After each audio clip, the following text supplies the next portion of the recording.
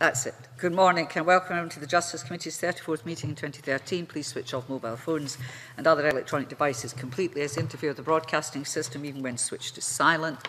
No apologies have been received. Item 1 the agenda, continuing our evidence of the Criminal Justice Scotland Bill. It's a sixth day of evidence at stage 1 and we're hearing from this panel of witnesses on corroboration and related items. Can I welcome to the meeting Robin White, Vice Chair of the Scottish Justices Association, Raymond McBenamin, Solicitor Advocate and Member of the Criminal Law Committee of the Law Society of Scotland, James Wolfe QC,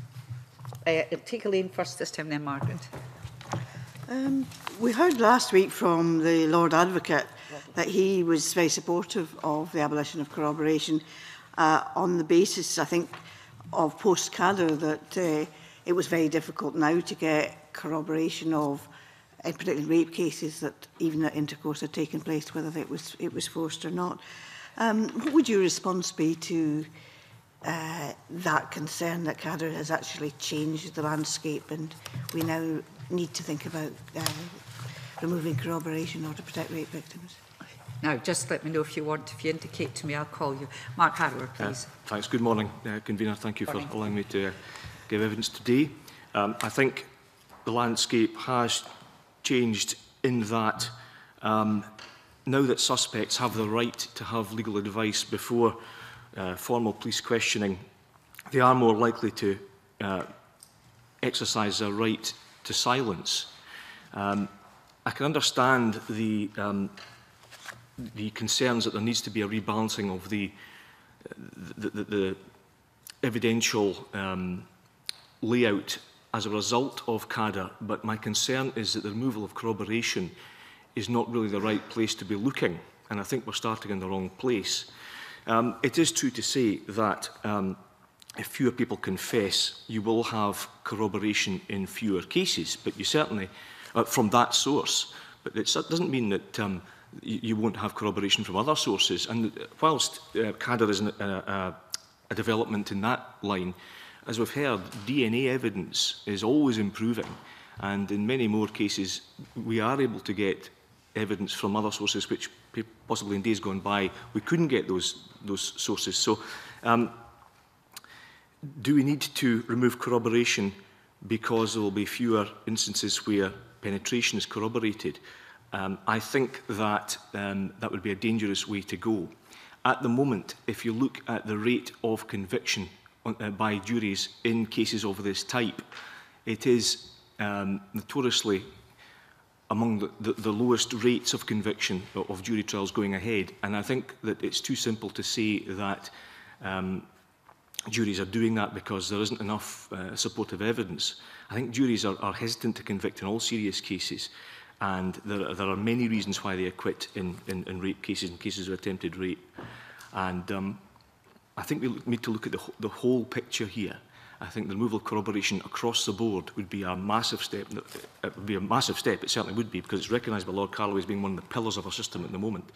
Somebody to get at these crimes which are committed in private, um, I think we need to be a bit more imaginative if we want to assist the Crown in finding ways to, to, to, to support complainers' evidence rather than removing corroboration across the board. I think yes, I... no, Mr. Wolf, come on automatically if you just indicate and I call you. Mr. Yes. Uh, yes, thank you, convener, and, and I too am grateful to be here uh, giving evidence this this uh, week on this subject, um, which is perhaps perhaps the most significant proposal that this committee will have had to consider in terms of its systemic impact on the criminal justice system as a whole.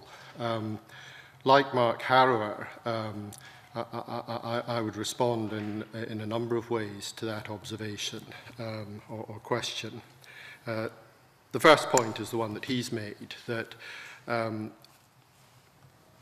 in, a, in, circumstances where it may be, it may be that one is le less likely to have an admission at police interview, um, one answer is to uh, look harder for other sorts of evidence. And in the sort of case we're talking about, uh, DNA evidence is, uh, in, in, many case, in many cases, uh, a, a, a, a, realistic option. the second point is this, that the proposal to abolish corroboration is one which will affect every case across the whole criminal justice system. and um, as I suspect we all appreciate, at root, it's a, a, a, a rule which reflects the practical common sense that if there's evidence from more than one source, then one has uh, a degree of confidence and conviction that the case is, is uh, uh, uh, well made. Uh, and at root, there is a serious policy question to be, be asked. Is that rule as a safeguard against miscarriages of justice, uh, uh, uh, which um, uh, is fundamental to the operation of our criminal justice system, uh, one which uh, is a good rule and which we should hold on to? Or is the um, particular issue which has been identified in relation to uh, uh, uh, uh the kind of case that um, uh, we're talking about here, is that uh, of such significance that one needs to, to Uh, change the rule. Now, if one is going to change the rule, uh, then uh, there are a number of things that one has to look at. One is, are there, are there alternative approaches uh, uh which are uh, short of abolishing corroboration across the board? Should one, should one be looking at um, Uh, modifications of the way that corroboration operates uh, in particular types of cases. And in any event, uh, given the systemic and fundamental nature of corroboration at every stage of our system, one has to look very hard at what it is that one is putting in its place, and one has to ask uh, uh, whether one is getting the right balance of safeguards against miscarriage of justice uh, on the one hand uh, against a, a, a reasonable system for prosecuting crime on the other. Uh, uh, and that's why fundamentally, fundamentally uh, uh, the faculty would uh, support the recommendation which Lord Gill made to this committee uh, last week that uh, this issue is one which uh, ought to be uh, examined um, uh, in the round, uh, looking at the whole uh, criminal justice system. Uh, and um, it, indeed, that's been the position of the faculty from the outset, that, that, that this is an issue of such fundamental importance to our criminal justice system that if we're going to look at it, uh, uh, it, it needs to be um, given to a body like a Royal Commission or the Scottish Law Commission with the widest possible remit to consider the implications uh, uh, right across the system. Mr McMenamin, yes. I think it's important, first of all, thank you very much for the invitation on behalf of the Law Society of Scotland for uh, giving evidence today. Uh, but I think it's important to remember that CADR was nothing to do with corroboration. CADR was to do with the rights of individuals in police stations and what applied, what should apply in that particular set of circumstances. The Carloway Review opened up the issue of corroboration as to how it might fit in uh, to that bigger picture. And from the Law Society of Scotland's point of view, we welcome the greater debate, but we feel that there should be a debate, a debate about the whole thing, and not simply focus on how one can get people convicted following CADA and how one might apply evidential rules in order that convictions uh, can occur. In fact, I would go so far as to say this, that if the motivation for this bill is to have people convicted in certain classes of cases, then that would be quite wrong and indeed quite shameful. I think there must be uh, some degree of deliberation about where we're starting from in all of this and where uh, we wish to go. Because what we're in danger of here, if this bill passes into legislation in its present form, is having a system of justice in which the safeguards against wrongful conviction are minimal, so minimal as to be described as basic, and indeed, compared to other jurisdictions, primitive. And I think people, commentators and lawyers from other jurisdictions, will look at Scotland and wonder why we're going backwards in this area. And they'll look at Scotland and wonder if we've learned nothing at all from the CADR experience. The Law Society takes the view that we have a great opportunity just now to widen the debate, to look at corroboration, other safeguards as well that might apply, and how it fits into our system.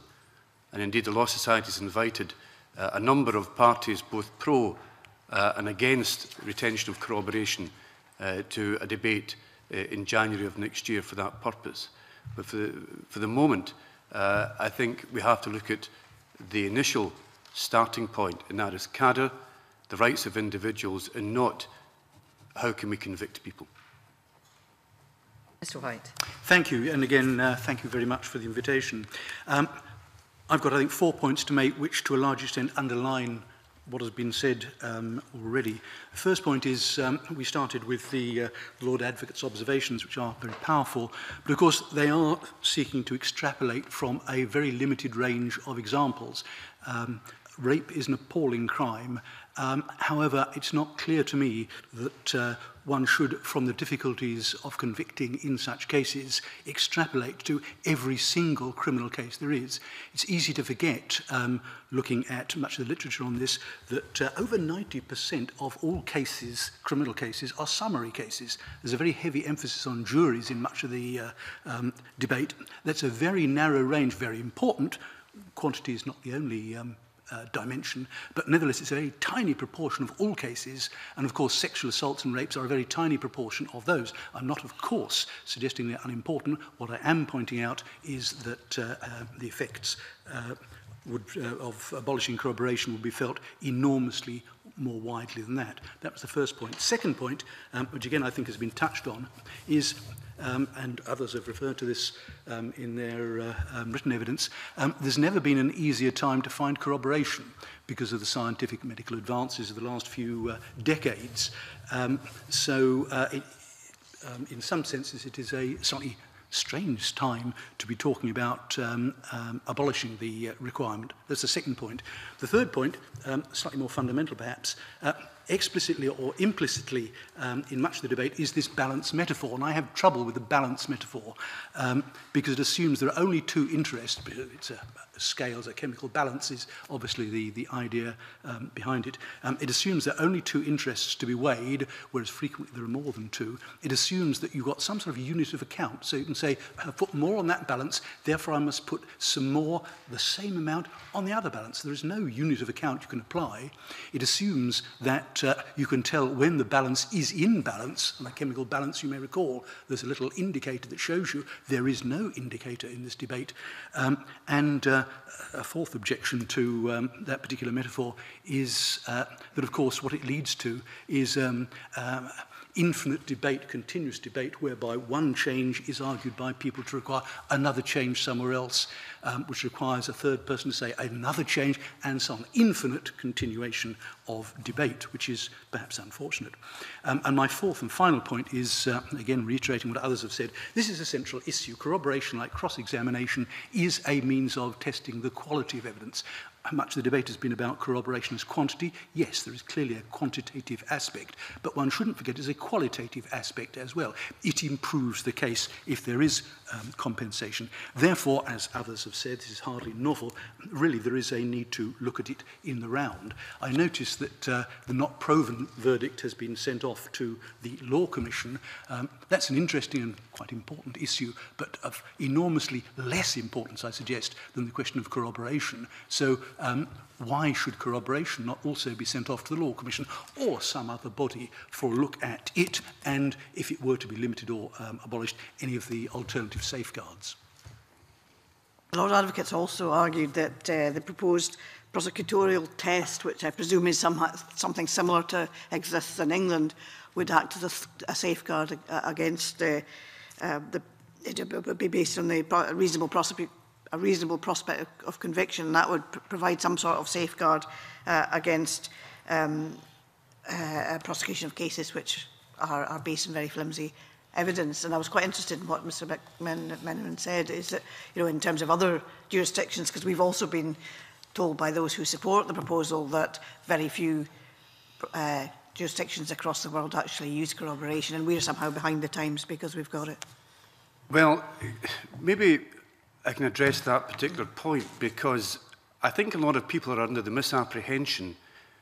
that corroboration doesn't exist in other jurisdictions. In fact, it does. Uh, the English have it. There's a provision in the Police and Criminal Evidence Act of 1984 for persons who have mental handicaps. If they give a confession to the police, that must be corroborated. So there's a safeguard built into the English system, which, again, if our bill passes through into legislation, we will not have. So vulnerable people will be better off in England by virtue of corroboration than they will in Scotland. The Dutch system uses corroboration for confession evidence as well. So I think a lot of people are wrong thinking that we are the only country who apply corroboration. I think it's true to say that we apply on a more widespread basis and rely on it more than any other country. But other countries do apply. I'm using only those two jurisdictions. I know in the United States as well, uh, there's much use of corroboration. Indeed, uh, any research will show that other jurisdictions consider corroboration as something uh, which must be looked at in many cases. And of course, in England, you have safeguards built into the system whereby um, judges in certain cases caution juries regarding corroboration regarding single source evidence uh, prosecutions. All of this is different to our system. I'm not saying it's right or wrong, it's just different. We have developed our system in a different way. We're now about to see that disappear. And we're now about to have a situation where, unlike many other countries, corroboration will simply not feature. Uh, and I agree with my colleagues here that is, it is the main safeguard. It's about to go if this bill goes through. And what we're left with is, as Mark Harrower said, in solemn cases, the minimal that could be, minimum that could be done, increasing a jury by two votes. We also have uh, the not proven verdict, some would say. But of course, there's been no research done in that at all to show what impact it has as a safeguard. All we know is it's a verdict of acquittal. We can't look into the minds of juries. We're prevented from doing so. The point I'm making is this, that it's been said in this uh, committee recently by the Lord Justice General that this has not been thought through. Uh, I think that is absolutely the case. This needs to be thought through a lot more thoroughly than it has. We need to do more research into other jurisdictions. We need to do more research into what systems might apply here in Scotland. Whether we abandon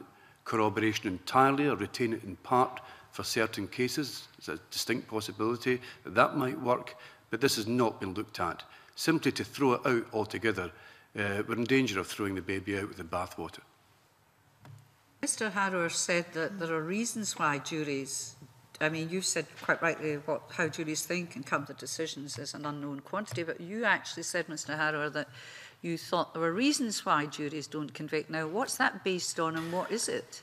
I think that certainly crimes committed in private and, and sexual crimes committed in private are very difficult cases for juries to assess. And I think that they um, are always... Juries do not go into court looking to acquit people. Juries go into court looking to do their job properly. And I think that the jury system is, is, is probably the fairest method of trying somebody that, that, that we, can, that we can use. Um, As a, as a defence lawyer who has over the years represented a number of people um, accused of rape, um, you see that um, complaints of rape come out of very emotionally charged situations, situations where very often alcohol is present, very often the people know each other, and there may be some history between, between these people. Um, I think uh, more than any other case, um, certainly rape allegations and similar allegations, allegations of that type are very difficult for juries to assess because juries will see a witness only for a, quite a short time in the witness box and they'll see an accused only for a short time in the witness box as well if the accused gives evidence. And um, when witnesses give evidence in courts, obviously uh, it, it's, a, it's an unnatural environment for that, for that person. They may be giving evidence over a TV screen, for example, because special measures are, are present. Um, the person may not perform well on the day because of the pressures of being in court, and that applies both to the accused and to, to, to, the, to the complainer. And I think that um, although some reference has been made by certain of the contributors to, to this whole process that uh, we have certain preconceptions in Scotland which need to be tackled about the way that, that women dress uh, uh, uh, and, and the things that, that we know um, have certainly in the past been identified as problems. I think modern juries nowadays um, really um, are hesitant to convict in rape cases because, because even with corroboration, it very often boils down to one word against another. Even if you get the case into court with corroboration that there was penetration, and the question comes down to whether there was consent or not, I think it's still a very difficult assessment for juries to make. And that assessment will become even more difficult if you're going to put cases into court where there is no corroboration. At the moment, um, as I think the Lord Advocate said, you need to have some support for the three essentials to prove rape. That's the penetration, the um, lack of consent and the mens rea on the part of the accused. And at the moment the cases are going into court have that element of additional evidence. What is proposed is that we put cases into court where that additional element is absent. How do we expect juries to be more sure when that evidence isn't there? Uh, talking about the qualitative test that uh, Mrs Murray mentioned, um, we need only look over the border to a very recent case where there was a very high profile prosecution for rape based on the sole evidence of a complainer. That resulted in a unanimous acquittal for the person accused. And what effect has that had on the system? Um, miscarriages of justice, and, that, and this depends on your definition of miscarriage of justice. I know that the Lord, uh, uh, Lord Carloway uh, says that people who are not uh, brought into court qualify for the same, um, the same definition. But when someone's acquitted in a high-profile case like that, it's equally as damaging, I would say, for the criminal justice system if we are left wondering why that case ever got into court in the first place. And if, if, if you read the newspaper reports about the, the Lavelle case, the commentators uh, saying, how on earth did we get that case into court in the first place? That case would never have made it to court in Scotland because of corroboration. And of course, the result is that uh, the accused's life is, uh, is ruined. He's got a lot of rebuilding to be done.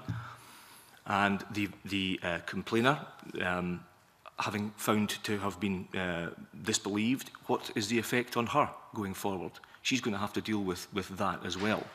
We need to make difficult decisions uh, in our justice system as to what cases we put into court. It's not simply a question of just putting witnesses in and letting them get on with it. And the rules that we have established over a very, very long time have served us extremely well, as Lord Gill said. We have very, very few miscarriages of justice in this, this country. And the reason for that is because we have drawn a line at a very, at quite a high line and said that we will not put cases into court unless we can be sure that, that if a conviction is returned, we've got the right person.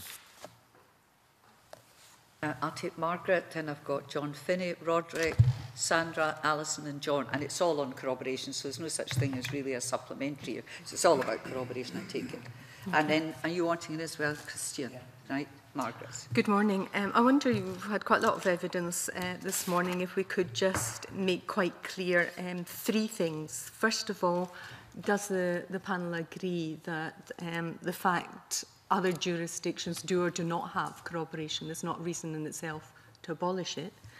Secondly, the Carloway um, report looked at two options, abolish, retain.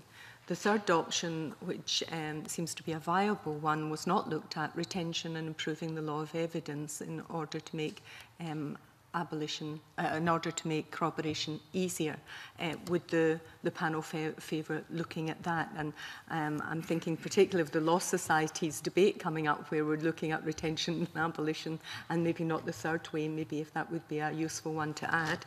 And um, thirdly, for the avoidance of doubt, two of the panellists have indicated this would be good. Lord Gill suggested, because we are very worried in this committee about the pressure of work, the fact that we're looking at a very lengthy bill in the Criminal Justice um, Scotland Bill with lots of provisions where corroboration is slotted in. And given the importance of it to the criminal justice system and Scots law, and also um, the weight of opinion against abolition, would the panel favour taking the provisions out of the bill and giving it to something like a Royal Commission to properly look at this issue. These are the three um, things that I would like your opinion on. Mr McMenamin. On that last point, yes, uh, the Law Society of Scotland would favour these uh, matters coming out of the bill and going before, preferably a Royal Commission. We think it's so important that we need the wider debate, we need wider research, as I've already mentioned, And yes, I would agree entirely with that suggestion. And the options? Well, at the present time, I think it would be premature, uh, having said what I've said about we need wider research and discussion, to say that one thing should uh, happen over another. But at the moment, corroboration should not go because we do not have anything in its place to provide a safeguard that it provides at the present time. Could, could ask you to look at it another way, um, retaining it but improving the law of evidence to make um, corroboration easier, as Mr White already said, with new technology and um, with more DNA, um, we should be able to, to use that um, to, to try Well, I think we already do, because corroboration in various aspects has been uh, whittled down, for want of a better expression, to the bare minimum. Um, I'll give you an example. In cases uh, where there is scientific evidence, uh, there is actually now statutory provision, there has been for some time, for only one scientist to be called to give evidence for the Crown, and notice is given by the Crown in the service of an indictment that that is to happen, and therefore you need only one person to speak uh, to scientific evidence in those circumstances. Lord Carloway, uh, whom I've heard speak on uh, this on a number of occasions, uh, has stated that, in his view, corroboration has been reduced in various areas to almost nothing, which is one of the reasons why he advances his argument for its abolition. And I think that is correct. Um, in our uh, evidential rules, it does not take much at all to corroborate a confession. We hear of special knowledge confessions, which basically means that if somebody makes some reference in a confession which indicates they may have been the perpetrator, they may have had some knowledge of how a crime was committed, that's enough. So we I already have a weakened, very much weakened uh, rule regarding corroboration in many aspects in which we apply it. I think we're looking at this in different ways. I'm looking to strengthen how corroboration could be uh, improved um, and found to, to be more easily established, not just on, on DNA new te technology, but what's actually happening in the court just now, the of Doctrine, the timescales which are applied in practice that could be really, uh, eh, relaxed a little bit to improve condition. These are just two that we are mm -hmm. bringing today in the panel, which I think rather proves the point that there is um, an argument for a third way, which is at least looking at retention while at the same time improving the law.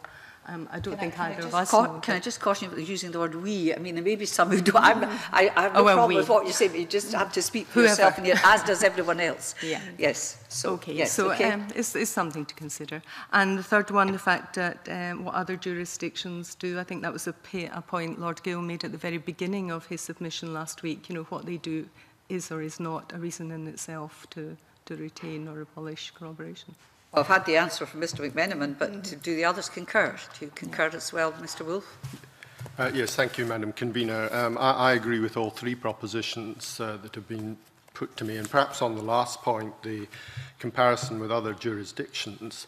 Um, uh, in, in, I'd suggest it's a mistake to look narrowly at the question of, what, of corroboration and what other systems have in relation to the rule of corroboration. You have to look at a system in the round.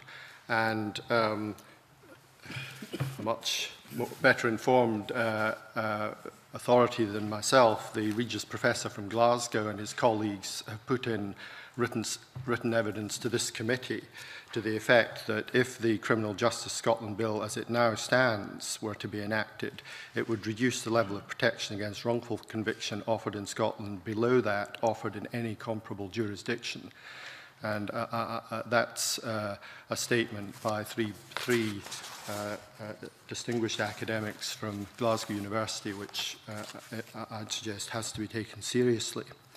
Uh, the other point that perhaps is worth making in relation to the contrast between Scotland and other jurisdictions is that in Scotland, uh, over the years, uh, a variety of matters which in other jurisdictions form part of their suite of safeguards um, have been looked at and rejected, uh, among other reasons, on the basis that we have the protection of corroboration.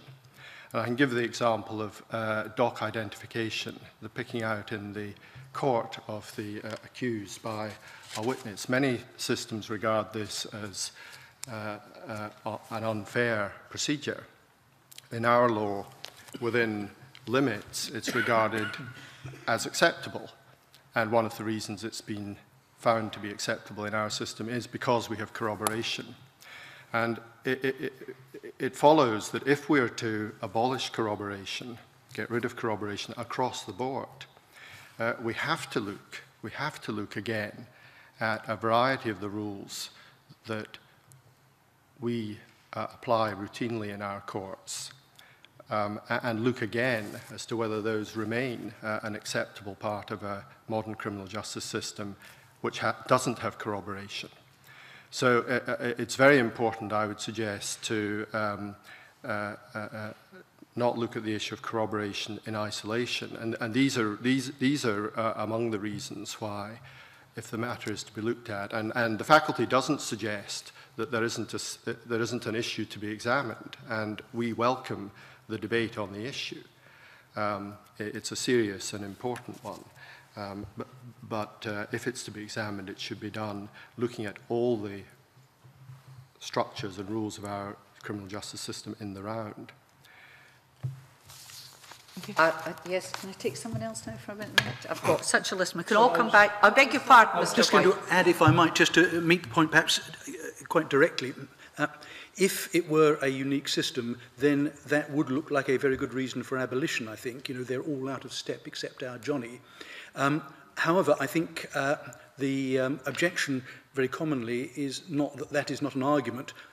but it's a burden of proof issue. That's to say, it's an argument, but no more than an argument, or if you like, it's not a knockdown argument, hence the suggestions that the matter needs to be looked at more fully. Thank you. I Mike, I, did you did you want to? Do you want to come in? Yes, yes, I can. I, I think the, the, the proposal to abolish corporation should be taken out of the bill, and um, I don't think I've spoken to a single solicitor, certainly in, in my jurisdiction, who uh, uh, supports the removal of it. And you might think that uh, my uh, profession were the, the, the, was the profession most likely to benefit from more cases going into court, but we don't want to see that because. Um, every solicitor who's been doing this job for a particular long period of time and who's been running trials week in, week out, will be able to tell you about a handful of cases, and hopefully it's only a handful of cases, where he or she genuinely believes that there's, genuinely believes there's been a miscarriage of justice. Now, most of these miscarriages of justice are below the radar because they happen at summary level. And as we've already heard, the vast majority of prosecutions in Scotland are at summary level. In fact, in 2011-2012, 96% of all con people convicted were convicted in the Sheriff Summary Courts and the GP Court, and of course the safeguard, uh, the so-called safeguard of improving the, the, or raising the, the jury voting will have absolutely won't even touch that. Uh, because juries never go anywhere near the Sheriff Summary Courts or GP Courts. The vast majority of convictions in this country have nothing to do with jury voting. And that's one of our main concerns, that there's nothing proposed in this bill as an additional safeguard in summary business at all. But quite apart from that, um, we, most solicitors um, will be able to tell you that they have dealt with a number of cases over the years where people were convicted. And most decisions on guilt are based on questions of credibility and reliability. That means who did the judge or jury believe and who did they reject. And when a judge or jury comes to a decision which is against your client, then there's really not much you can do about that. That's the end of the line. You only get one shot at a trial in Scotland and you only get really one appeal. And appeals uh, against conviction have to be based generally on errors in law um, you can't ask the, the appeal court to revisit all the evidence again and come to a different decision about who the uh, sheriff or, or jury believed. So it's a one-stop shop, and that's why I think we've been so um, determined uh, uh in Scotland to make sure that we get it right first time round. And that's why, because the formula we've arrived at has produced very few miscarriages of justice. And again, looking just to England, in the last couple of decades, there have been a number of very high-profile miscarriages of justice uh, overturned in the appeal court many of them based on single sources of evidence, primarily confession evidence, whereas in Scotland we always look for an independent check. So we've avoided what's happened down there uh, by virtue of the formula we have arrived at over a very long period of time, to suddenly change it, to take one um, of, the, of the, the parts of that equation away without really looking at what we need to replace it with, I think is a, is a big mistake. As far as evolution of the law of evidence is concerned, I think it would be possible to look further at what we could do, and in particular cases, to assist uh, the Crown to get cases into court. But I think it's, it's something we look, need to look at very, very carefully because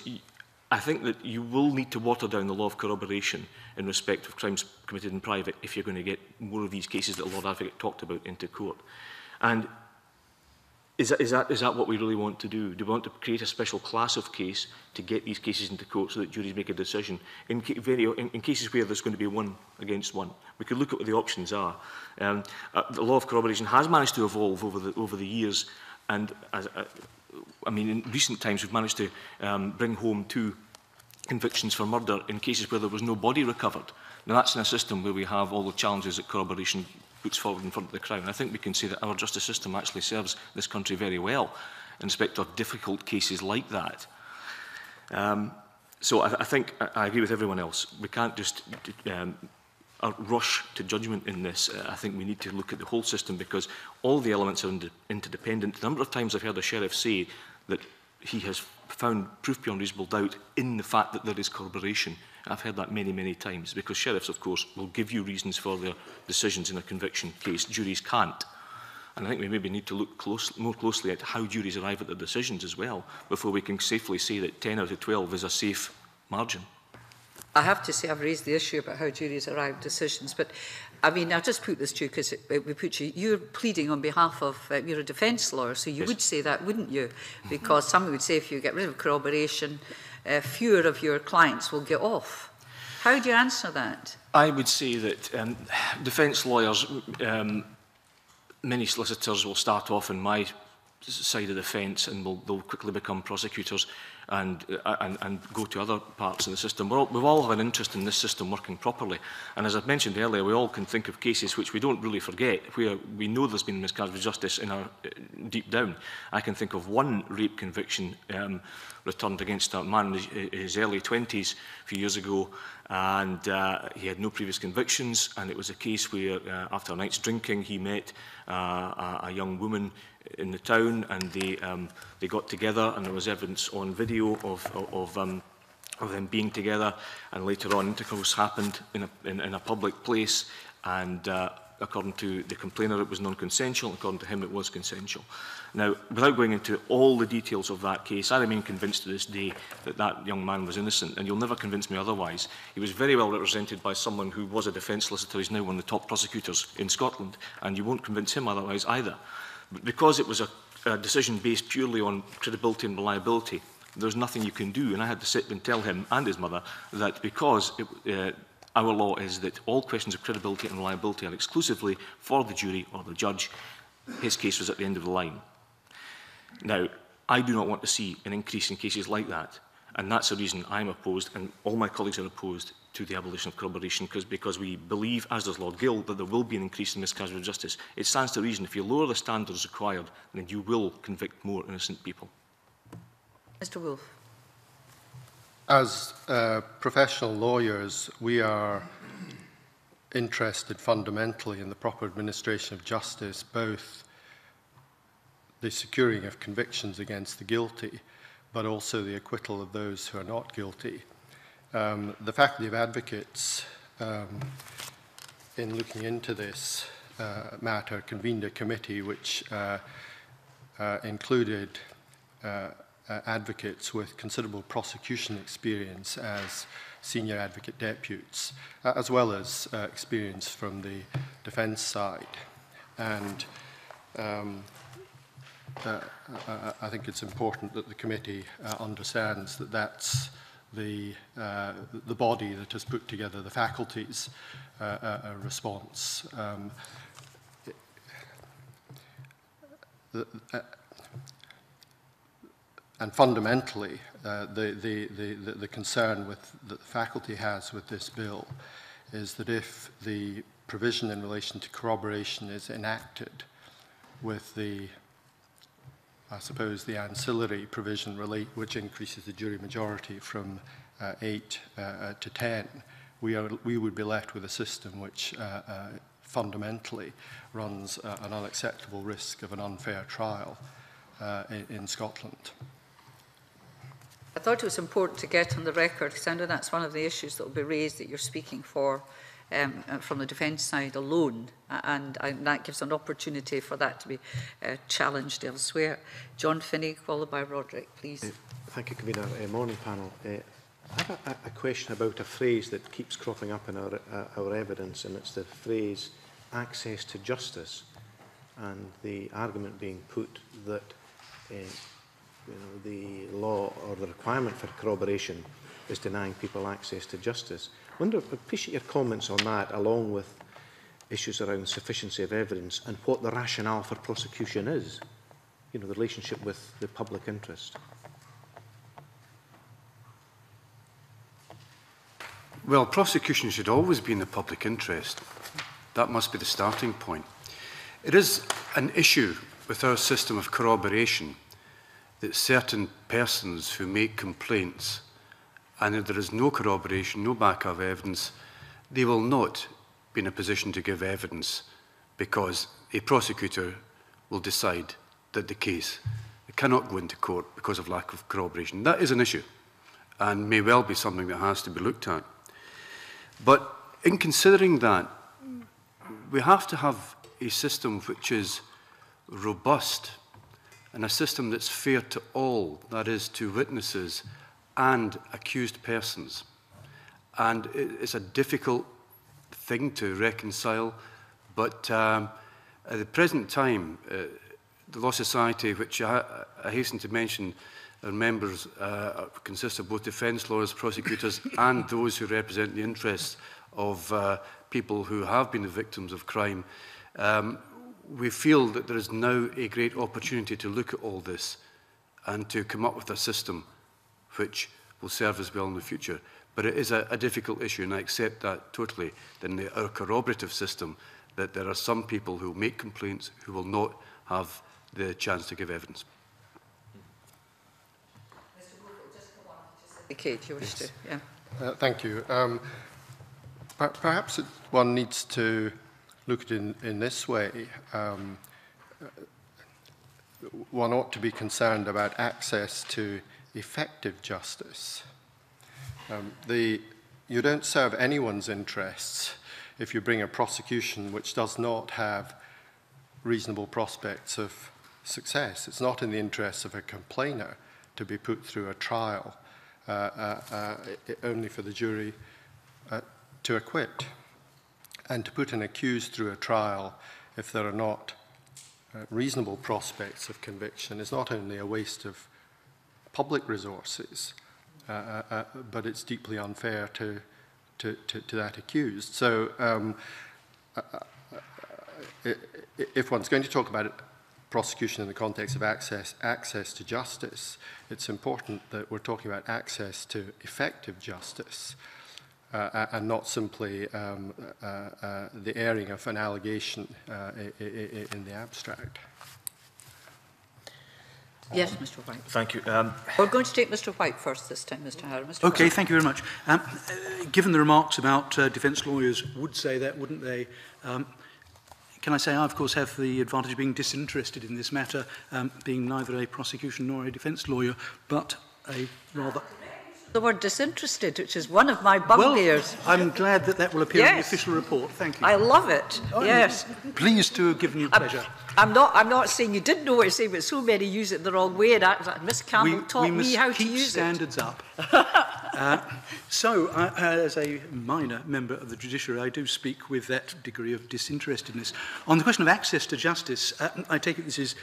um, in effect, a reference to victims.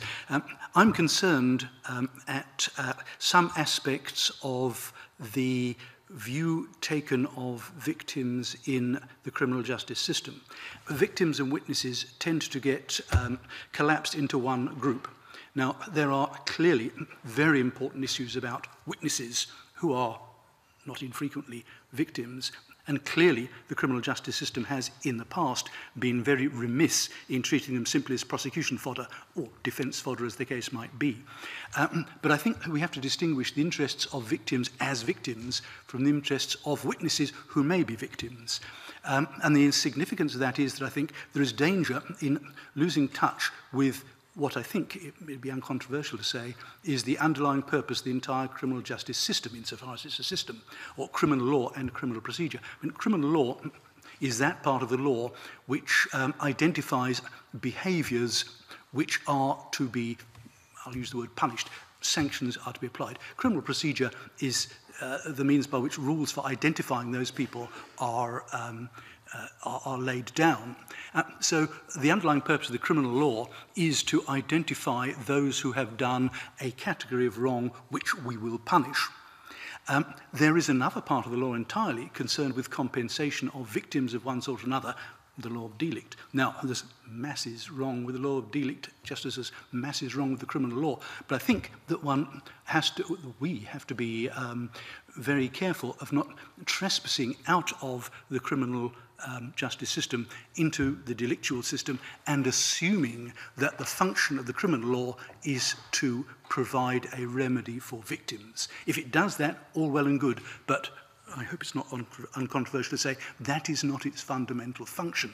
And if we're going to try and change its fundamental function, we should know we're trying to do it and not do it by a sidewind. That was one point. And the uh, uh, second point on sufficiency and public interest, um, the uh, issue of the um, prosecutor's test for prosecution has been mentioned already, um, and I think we're coming back to it. Um, um, in, I, I think I'm correct in saying, um, well, certainly I'm correct in saying, in the Callaway report itself, uh, there was no discussion of what that test might be if corroboration were removed. There is, I see in the written evidence from Crown Office, um, what they think it should be, but I think it is accurate to say there has been very little discussion of that. What they write may be very sensible, But it's not something on which there has been um, uh, general debate. Um, so if there is to, if the prosecution decision uh, or the nature of the prosecution decision is to change as it must, then there would have to be considerable debate as to what that test would be and Mr Harrower now. Thank you. Thank you. Um, I think we have to remember that our system, like all systems of justice, is a human system and it's never going to be perfect.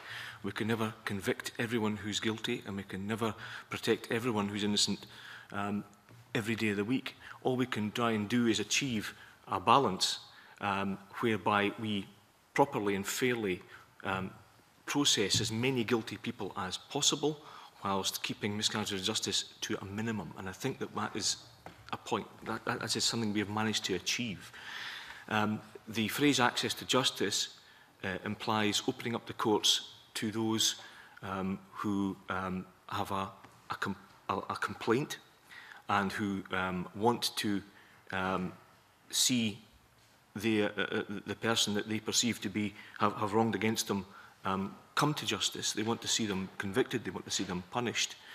We have to remember that not everybody who makes a complaint is telling the truth. Unfortunately, because it's a human system, um, whilst many people come to court to do their best and tell the truth, um, a number of people come to court in order to lie. And it's so difficult for a human system, especially dealing with witnesses in a short space of time, to, to, to, to ascertain who is telling the truth and who is lying. And we recognise it asking juries to make these decisions is a very difficult thing to do. And what we've done in Scotland is we've given them some assistance in that saying, look for something else, an independent check, not just juries, but sheriffs as well. And it's worked very well for us. And by um, lowering the standard of proof, you will open the doors of the court to more complainers, and you will also increase the risk of convicting more people on lesser evidence, which will increase the risk of miscarriage of justice. Uh, um, thank you for that. W with regard to... Just a little bit. Yes. So Sorry. that's it. Thank you.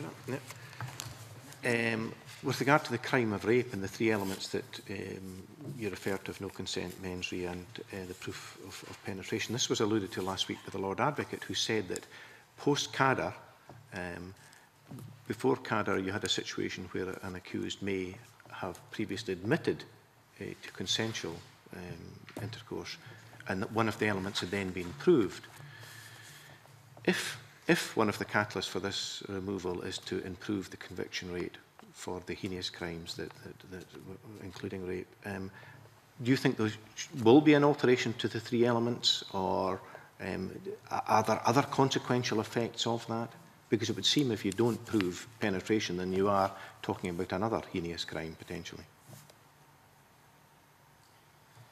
I think that um, at the moment, I go back to what I said earlier, at the moment when we do have corroboration, juries are finding it difficult to arrive at who they, who, who they think is telling the truth in situations like this. Um, I don't know how else you're going to be able to corroborate the act of penetration other than by an admission on the part of the accused or forensic evidence. It's just not going to happen. And then the only way to deal with that, I think, unless you can find some compelling supporting evidence. And there were some examples given in the, the supplementary Crown submission, which I think are powerful arguments when you look at them, but they don't amount to corroboration as we understand, uh, presently know it.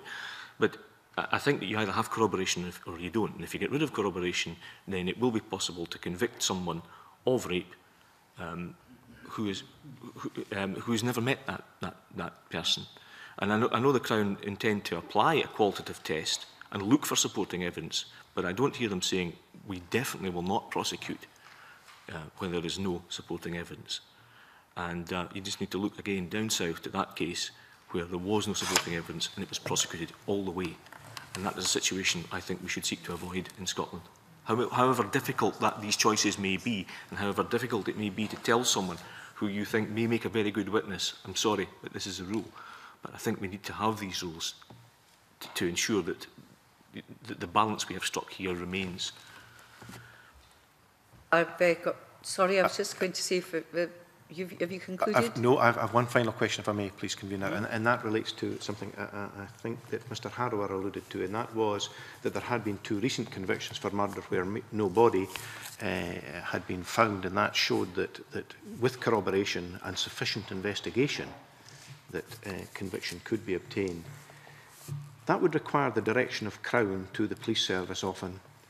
and dedicated police resources available. Do you think our system is configured has a sufficiency of resources in the Crown to ensure that would happen in every case? Ms Wolf. Yes. Um, although we, we, in this committee we're talking about, as it were, fundamental principles, one can't ignore the question of resources and um, uh, uh, uh, the faculty has put in a, a response to the Finance Committee on the financial memorandum to this uh, bill. Uh, on the Crown's own analysis, um, uh, they, they predict an increase in the number of solemn prosecutions if corroboration is abolished of between 3.5 and 12.5 percent. Now that's 220 to 760 additional cases prosecuted on indictment uh, a, uh, uh, a year and a much greater number of additional summary prosecutions. Uh, there are various assumptions built into the approach they've taken to resources, and, and we, we seek to address that in our comments in, in writing. But the bottom line is that significant additional costs as a result of the measure are identified as being required at all stages of the criminal justice system, particularly in Crown Office and in the courts. But for the courts, the estimate is uh, 3.25 million pounds in staff resources and about 900,000 in training. And one thing that is striking about the financial memorandum is that it states that those additional costs to the Crown and the uh, court system will be absorbed uh, without any real increase uh, in funding. Now, of course, if this is the right thing to do, then one has to uh, find ways of, of resourcing it. But if one's looking at a systemic change of this sort, one does have, uh, I would suggest, to look uh, in a clear-eyed way at what the practical consequences will be uh, for the system. And um, uh, uh, uh, uh, there has to be a concern that um, uh, cases will, well, first of all, that the, the, the, a system that's already um, it, it may be regarded as stretched, it, uh, it becomes overstretched. Uh, and secondly, there has to be a concern that, the investigate that in a situation where the investigation doesn't have to be done, then it may not be done and I say that without suggesting any want of integrity on the part of the police or, or, or, or prosecutors. I want to, if I may move on, I've got Roderick, then Sandra, then Alison, John and Christian. Um, morning panel. Uh, Convener, can I refer to my register of interests as a member of the Faculty of Advocates? Uh, I'd like to begin, if I may, by just referring to uh, uh, the Crown submission and the new test for prosecution. Uh, um, which, is, which requires the prosecutor to make assessments both uh, uh, uh, as the public interest, which is no change from the present.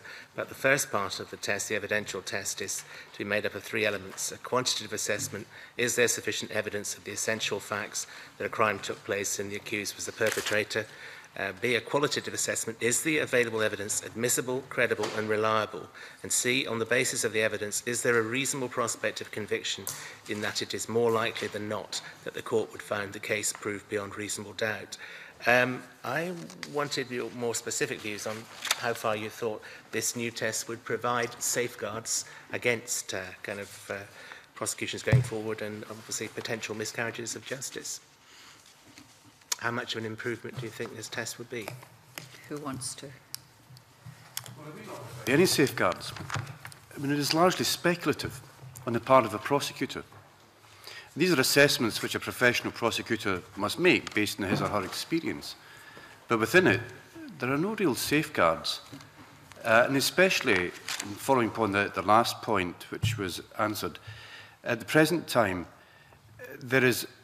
widespread concern and a widespread perception within the legal profession that the Crown are struggling with the workload that they have at the present time is not something perhaps the Lord Advocate would readily accept or admit to, but uh, I can speak as a, somebody who is still a practicing defence lawyer that uh, there is that view of the Crown at the present time. And to think of uh, beleaguered procurators fiscal marking cases and Crown Council, uh, perhaps less so. But if you have a, a, crown, a prosecution system which is under stress, then I think your chances of having prosecutors marking cases and then thinking about safeguards are diminishing all the time. Mr Wolf. Yes. Um, I, I don't for a moment uh, uh, doubt the, uh, uh, as I said a moment ago, the integrity with which prosecutors will seek to apply this test. But there is a constitutional point, which is that we're looking at the statutory here as, as uh, in this parliament as, as uh, uh, uh, uh, looking at legislation, the statutory safeguards uh, uh, uh and structures within which a trial will uh, take place. Um, the Lord Advocate's guidance to prosecutors uh, is uh, uh, not to be enshrined in statute, uh, and as Mr. White said, has been the subject of, as yet, relatively little debate. Now, Lord Advocates may come and go, they may change their guidance. Um, uh, and um, just to pick up one point in the uh, statement that's been uh, uh, provided, uh, one can notice that the Lord Advocate acknowledges that for certain classes of individuals, um, those uh, identified in paragraph 33, um, proceedings uh, uh, uh, uh, would be not be taken up without strong supporting evidence. Now, I think one understands why the Lord Advocate says that in, in those particular cases, but there's an example of how um, uh, the guidance that's to be provided is going to result in um, the test being applied in different ways to different classes of case uh, in ways that, um, and I'm not being critical of the Crown's um, written evidence here, in ways which uh, as yet are unclear and, uh, and unknown. So it's part of, a, a, a, as, as legislators, um, a, a, a, as one's looking at uh, a proposed bill and asking, are we putting in place a system that adequately secures uh, the conviction of the guilty but the acquittal of the innocent. Um, are, are we structurally putting in place a system that uh, provides uh, adequate assurance? Um, and of course, the role of the prosecutor is, is, is an important one, but um, it, it's not a legislative safeguard. And precisely how this, uh, uh, the test will be applied uh, uh, remains to be seen. If else wish to comment. Yes, can I say that uh, on the ground in, in the courts, we uh,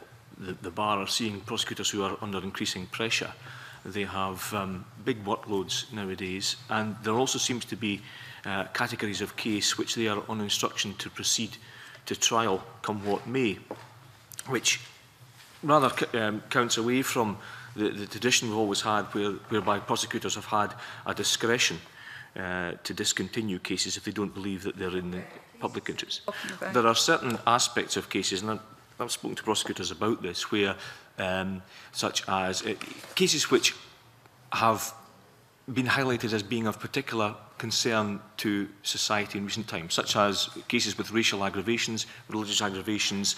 Um, more recently, recently as last week, I think there was a, a stalking case which was highlighted in the Daily Record, and uh, Crown Office, according to the Daily Record, made a statement that um, in, uh, in such circumstances, um, pleas of not guilty would not be accepted without evidence being heard at trial. So stalking cases under Section 39 now seem to fall under the category of cases which have to go to trial.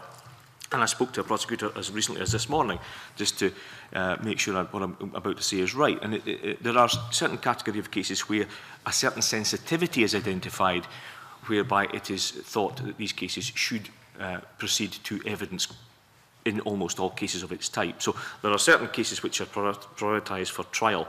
Now, um, the, the new test which is proposed will um, require of prosecutors um, a great deal of, um, I think, independent assessment of the evidence and are taking on a responsibility in respect of these cases um, because they will need to assess uh, what supportive evidence there is and what the, what the quality of that supporting evidence is and whether it's enough to justify the case going into court. They are expected to make a decision about whether that case could reasonably proceed to, to a conviction on the basis of what will often be written statements.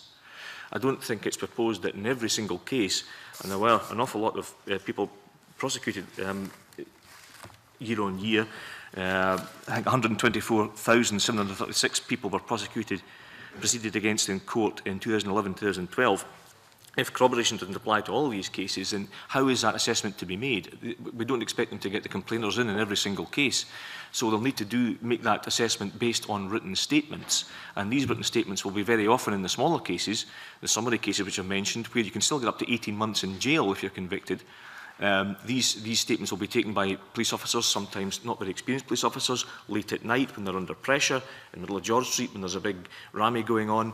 And uh, how are prosecutors to make a proper assessment of whether that case has a reasonable prospect of conviction based on statements alone, especially when they may be subject to additional um, influences which are that they have to be careful of cases with particular sensitivity.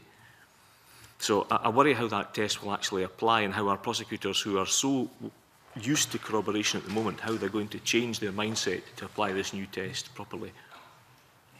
Are, are you saying, sorry, are you saying from, you're being a bit delicate about this, but are you saying, given the example of the stalking case, that you're implying that cases of sexual assault, rape, domestic violence, because of the sense, will be taken to court no matter what. I mean, or almost no matter what.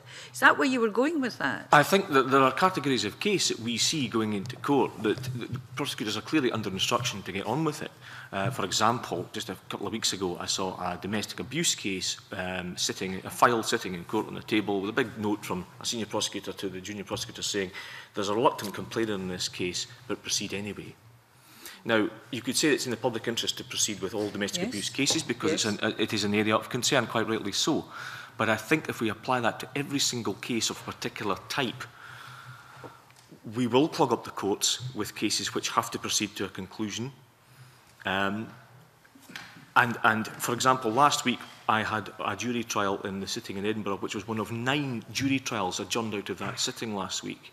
And my, that was, that, I think that was the third or fourth trial diet that that case of mine had got to. We have to be able to balance, as Mr Wolf says, the, the, the resources which are not finite in this country with prioritising cases which truly are the most important cases. And we need to be very guarded against um, imposing uh, blanket directions in cases of, of, of a particular type because we're worried about um, what the Daily Record might say. Roderick. Could, could I move on to another subject, the reasonable jury um, uh, point, which was in the Scottish Government's uh, second consultation on safeguards, which is not proceeded within the bill. Um, I just wonder what the panel's view was uh, on this point. Lord Carloway, I think, suggested that um, there were two reasons why he thought it was inappropriate, one of which was that uh, if, uh, if the judge got it wrong. It would be very late in the day for the prosecutor uh, to, to try and appeal this, and that would be costly in terms of resources.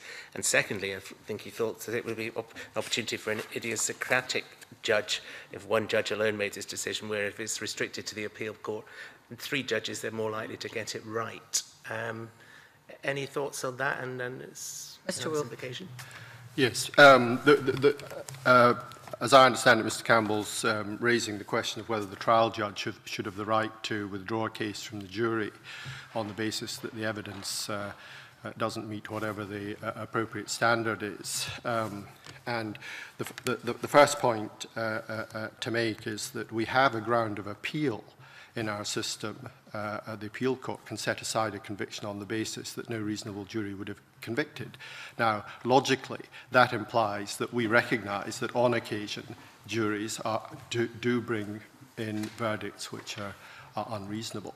And it does seem uh, odd uh, that we're not allowing the one independent and impartial judge, highly trained, who has actually seen the evidence, that we're depriving him or her uh, of the power to uh, withdraw a case from the jury in those circumstances.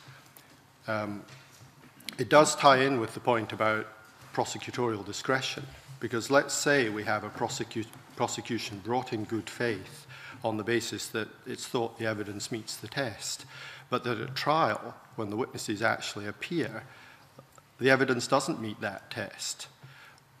Now, one would hope the prosecutor in those circumstances would withdraw the case from the jury, but uh, the prosecutor may not. Are we to say that the judge may not say, I don't take the view that the evidence meets a test which would have allowed this case to be prosecuted in the first place, and I'm going to take it away from the jury. So uh, it, it, it, it's, it, uh, I would suggest odd that that's uh, a, uh, a proposal that's not been taken forward. To meet immediately the objection that um, uh, it puts power into the hands of a trial judge who may exercise it idiosyncratically. Uh, this Parliament has recently provided for a right of appeal where a trial judge upholds a no case to answer submission. And uh, we've had experience of such appeals, and appeal courts are convened very swiftly, um, effectively overnight, so that the appeal court can review the trial judge's decision to um, uphold the no case to answer submission and remove the case from the jury by that means. Uh, and uh, it, it, the reason that the appeal court is convened swiftly is so that if the appeal is the crown appeal is upheld it can go straight back to the jury and the jury can decide it so this parliament's already put in place the mechanism which can deal with uh, the concern that lord carloway uh, expressed there's no reason why a similar crown appeal couldn't be made available against a decision of this sort Mr. White. Uh, thank you. Um, I just want to emphasize again um, a point about the uh, um, propensity of trials to be summary. Um, if further safeguards of this sort of nature has been mentioned um, are to be introduced, the discussion has been entirely, I think, concerning jury trials, which, as we know, is a tiny proportion. It's difficult to imagine um, that this particular form of how this particular form of safeguard um,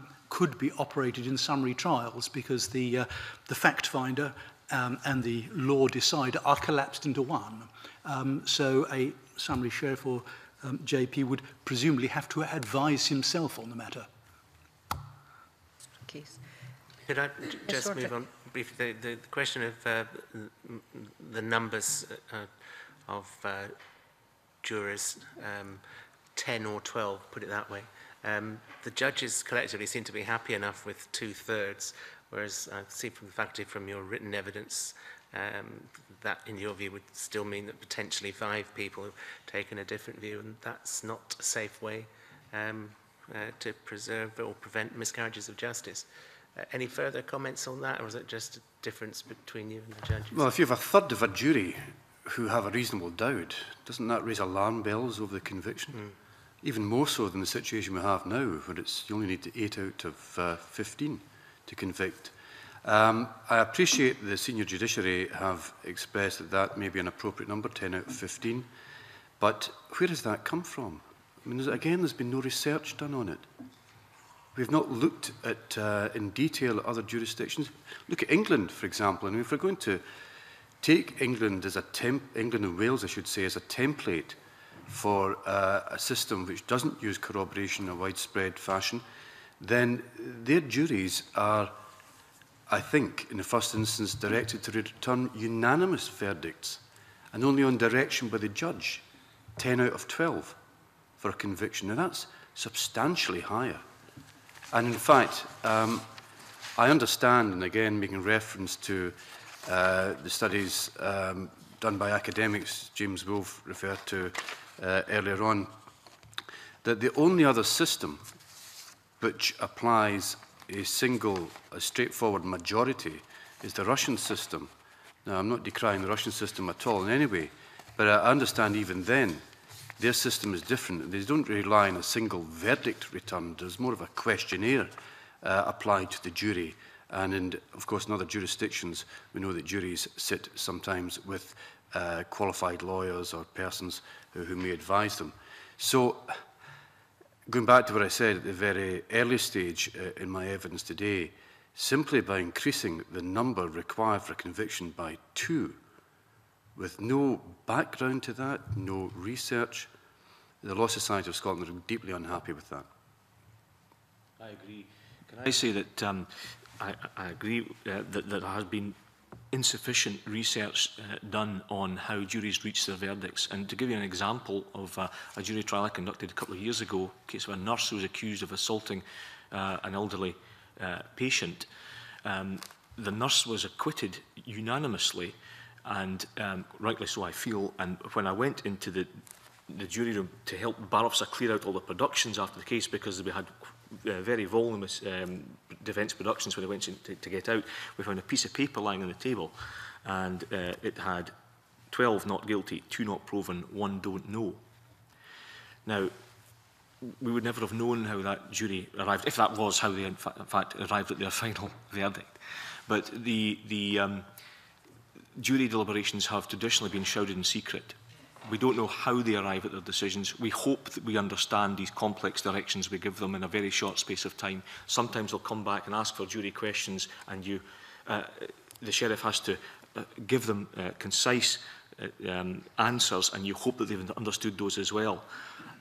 Occasionally you will get a verdict that you cannot understand from a jury.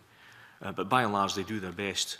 Um, but it may be that before we come to the view that 10 out of 12 is really a safe level we should look more at how, in fact, they actually arrive at their verdicts in the first place. Yes, Mr Wolf. Yes, uh, can I, First of all, um, as I understand it, in common law systems, um, the norm is unanimity or near unanimity. Um, the second point is perhaps that this very difference of opinion on this one issue illustrates why um, what we uh, uh, need to do is to look at the system at large um, and at all the elements with a view to securing uh, a system which gets the balance right between making sure that we can effectively prosecute crimes, including those crimes, those sexual crimes and domestic abuse of cri uh, uh, crimes of domestic abuse, which rightly raise public concern, the balance between effective prosecution uh, and uh, uh, avoiding miscarriages of justice. I'm going to move on as time presses. Sandra, followed by Alison, followed by John, followed by Christian.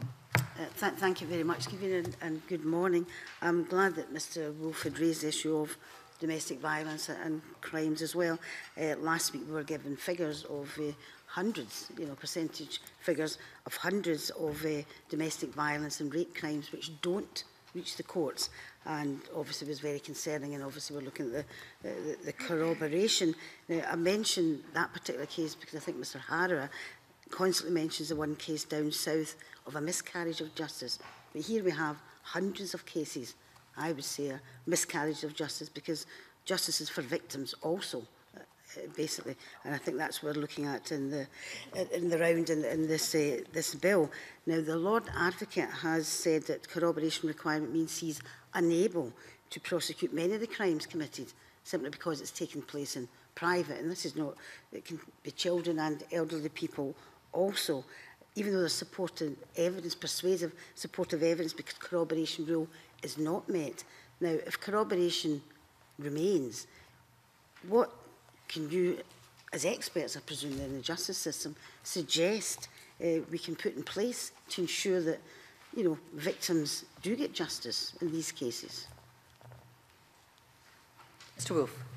Yes, I mean, the first thing to say is that there's understandable public concern about these categories of cases, and they are rightly ones to be taken extremely seriously. Uh, the second point to make is that um, the Lord Advocate, as I recall it, gave uh, Uh, statistics for the numbers of cases within these categories which were marked for no prosecution uh, on the basis there was insufficient evidence. And um, uh, Alison McInnes then asked, uh, if I may say, a very pertinent question, which is how many of those would, in, would be prosecuted uh, applying the new test? Uh, So it's important to recognise that, at least on the Lord Advocate's uh, uh, uh, own view of his own test, that not every case in which a, a complaint of sexual crime or domestic abuse is brought will be prosecuted. And so I think one has to be slightly careful about the numbers that one looks at. The third point is it's important to understand that abolishing corroboration is not a panacea for the difficulties which these cases raise. And Mark Harrower has already identified some of the difficulties which I suspect certainly any of us who've prosecuted uh, serious sexual crime uh, uh, uh, will recognize uh, in prosecuting those crimes. Uh, the fourth point is that those of us who prosecuted these crimes recognize the value of corroborating evidence uh, in supporting the evidence of a complainer and in persuading uh, a jury to accept the evidence of the complainer, particularly if you have a complainer who, for a variety of reasons, uh, uh, uh may be a, a difficult witness. The corroborating evidence may be extremely important, and it's therefore very important that we don't uh, uh, end up with a system in which there's any diminution in the efforts put into making sure that all evidence is Uh, uh, all investigations are carried out uh, and evidence obtained. I don't suggest that there might not be room for examining the way that corroboration works. Um, uh, Lord Hope has suggested, if I understand it correctly, that one might look again at the role that distress plays uh, in corroborating uh, the different elements of a, of a sexual crime. one might look at Uh, uh, uh, the corroboration of crimes by reference to facts and circumstances which are consistent with the complainer's uh, account. I don't wish to commit the faculty to a view on these points, but, but, but, but, but I, I, I, don't, I don't suggest that there isn't a, a, a, a case to e-, e examine the way that corroboration works uh, in dealing with these uh, crimes. Uh, nor do I for a moment suggest that the issues in relation to these particular crimes uh, don't create a case for examining whether corroboration is a, a doctrine that we should retain or not. Uh, our fundamental concern, so though, is that if you're going to take it away, and ultimately there's a serious policy question uh, uh, about that or not, then you have to appreciate that the whole system will look completely different at every stage at investigation stage, prosecution stage, trial stage, appeal stage. And one has to look very hard at whether, as the academics from Glasgow say, we're not leaving ourselves with a system that uh, uh, uh, uh fundamentally runs an unacceptable risk of uh, uh, unfair trials taking place in this country. Else wish to address that? No. Yes, sir. Sorry, yes. Th thank you very much. Uh, thank you very much for that, and I absolutely agree with you know, basically what you said about the, the numbers, and the Lord Advocate was very honest about that, but they were still high in comparison to some other crimes. I just wanted to pick up on some of the stuff that Mr McMenamin said, following on about the corroboration, and no one has said what can be put in its place.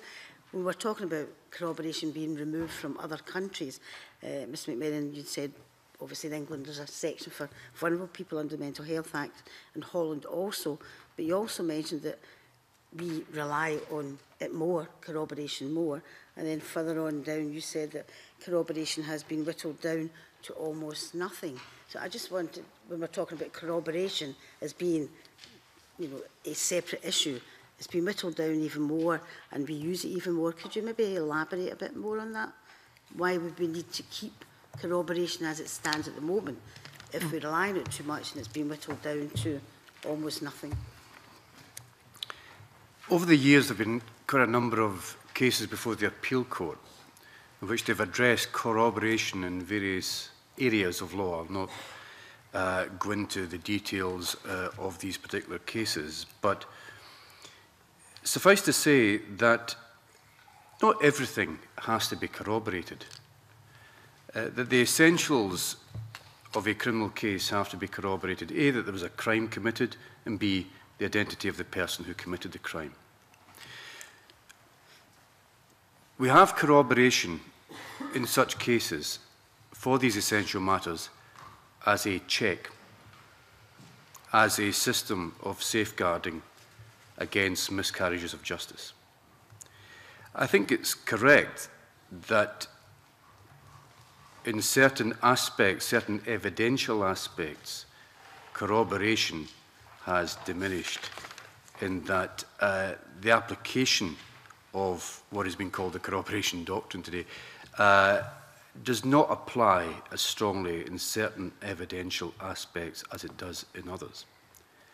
But at the present time, if you're going to convict somebody in a court of law of committing a crime, then you need a system of checks and balances to avoid miscarriages of justice.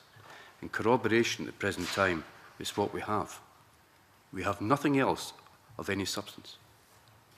So it's important that we acknowledge that.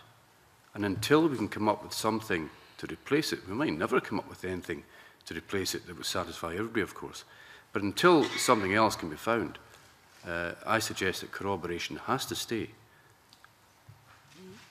You say that corroboration has been whittled down, but I think the Lord Advocate, and I'm looking at the official report from Wednesday at column 3745, when he said Can I tell you what effect corroboration has? We have to corroborate the taking of buccal swabs from alleged offenders, so two police officers are required for that. We have to corroborate taking of intimate swabs from a complainer in a rape case. In the case of child pornography, we need to corroborate the children are under the age of 16, so that must be done by two witnesses. We have to corroborate forensic analysis, so two forensic scientists have to speak to the results for examination, and so on. That doesn't sound like whittling down to me, um, you know care to address that, having said it's whittled down to almost nothing? Yeah, well, in certain areas, as I mentioned before, forensic science evidence, for example, the Crown can serve notice that they're only going to call one forensic scientist. Now, it might mean in the course of inquiries that they have two forensic scientists. That's so. They will have two forensic science pre scientists prepare a report. But uh, when it comes to service of indictment, the Crown are entitled to give notice that they only intend to call one witness.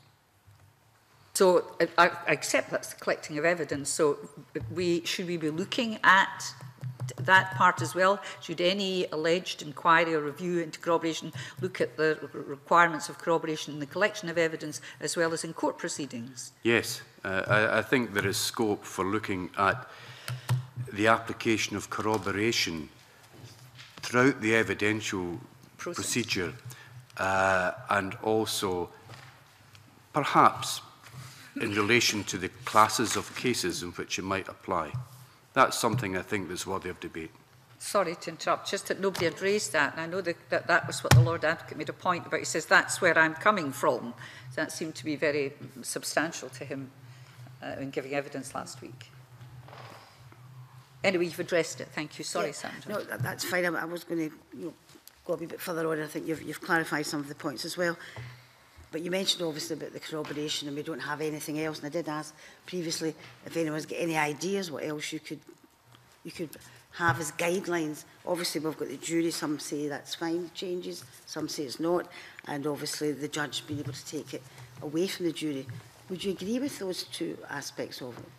I'm not just speaking to Mr McMahon. Obviously, the, the rest... Mr McMahon was giving you the yes, eye and that, yeah, as if you're you communicating know, there Because obviously there's an idea that's been put forward, and, and where I have a wee bit of confusion, probably a lot of confusion through a lot of the things, is the fact that we're looking at this criminal justice bill in the round, and as uh, Mr Wolfe has said, it's not just one part, there's lots of different parts to it.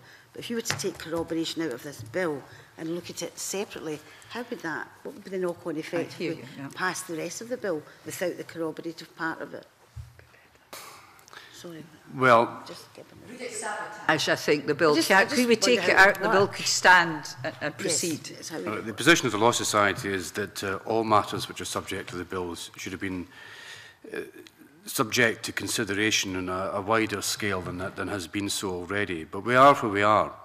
And uh, as has been suggested, if corroboration and indeed the provision regarding jury numbers is taken out of the bill, then uh, we would uh, support that at the present time, and we would support also further consideration being given to these aspects. I think I was struggling with the word wrecking amendment. If you took it out, the bill would still... No, but Mr Wolfe?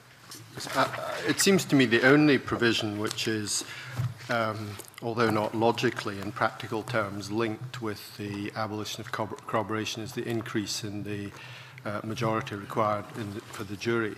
Uh, and I should say, as the committee will appreciate, the faculty supports or, or broadly supports uh, uh, many parts of this bill.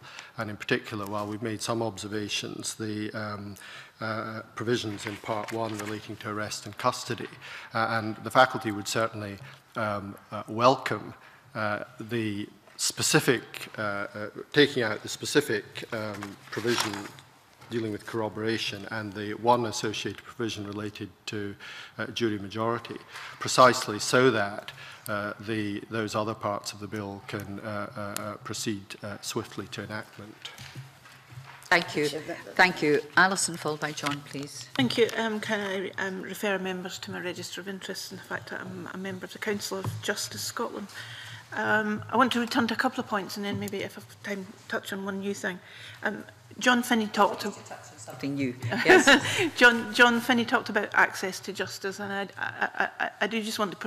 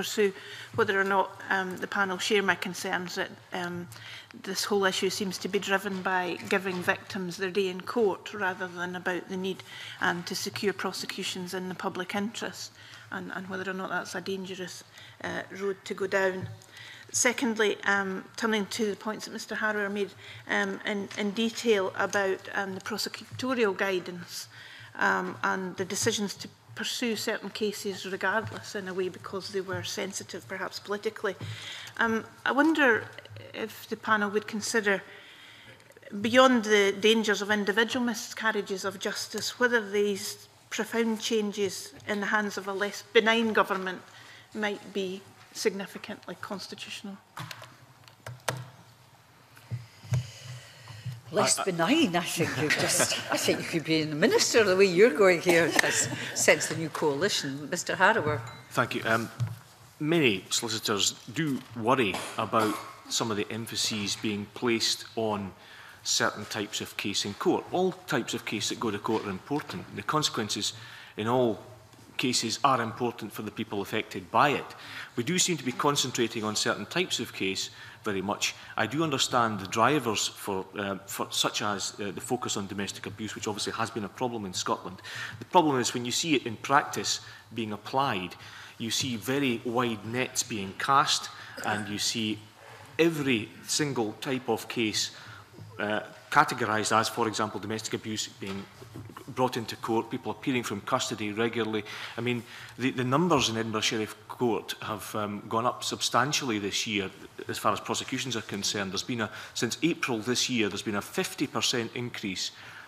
in uh, cases registered in the GP court, where we now see fairly serious road traffic cases, and of course there's a, there's a policing drive on road traffic at the moment. We've seen a 38% increase in cases registered in the Sheriff Court, where, of course, there are drives such as domestic abuse, the, the, the football legislation. Um, we just worry that um, there seems to be an ever-increasing desire to cast a very wide net and let the courts sort it out. Put more cases into court and let the judges and juries make a decision. Unfortunately, when you do that, you, you, you end up catching all sorts of cases and perhaps cases which could be dealt with in other ways. Um, I do think that uh, there are um,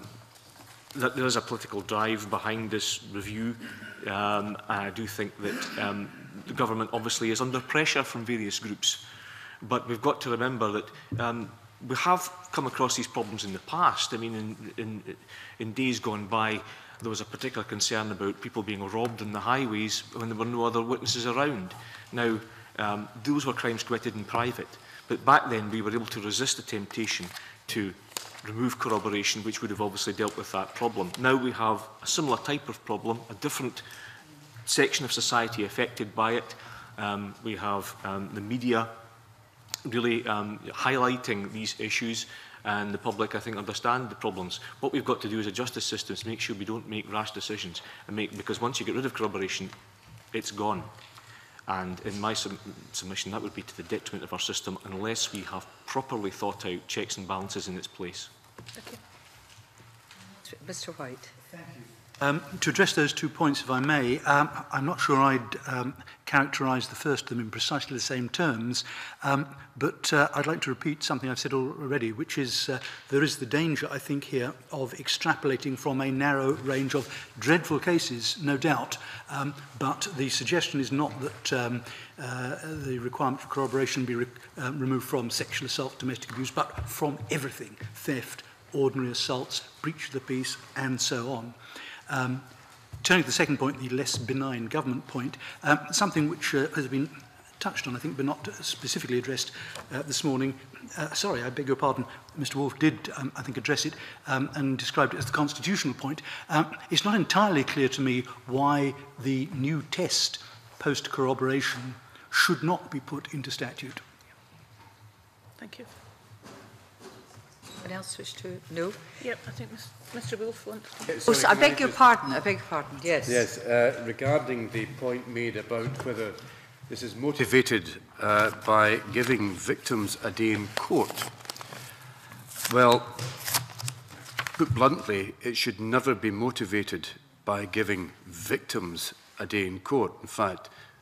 uh, victims are not victims until it's been established in court that they are victims, first of all. Secondly, uh, it should always, as, as I think Mr Finney mentioned earlier on, uh, be a case of prosecution in the public interest. Now, it may, in certain circumstances, not be in the public interest to put a single witness in court to give evidence. It may not even be in the uh, interest of that particular witness to stand in a court of law with no backup evidence, be cross-examined at length, and find that uh, the accused is acquitted. Uh, and I think also going back to the point about there being perhaps hundreds of cases that could be brought to court, I think it's very easy to, for some people to be swayed by the numbers game here. You cannot approach it on that basis. You have to look at each case individually and decide whether it's appropriate to bring a prosecution, whether it's in the public interest. Mr. Wolf, you, are you wanting to? Yes. So uh, I wonder if I might just uh, make an observation on, on, on the last part of the question. Um, um, because it, it is important to have in mind the constitutional significance of what we're doing here. Um, we're putting in place or considering the way in which the criminal justice system operates, and ultimately we should all be concerned about securing the rule of law in Scotland for the long term. Um,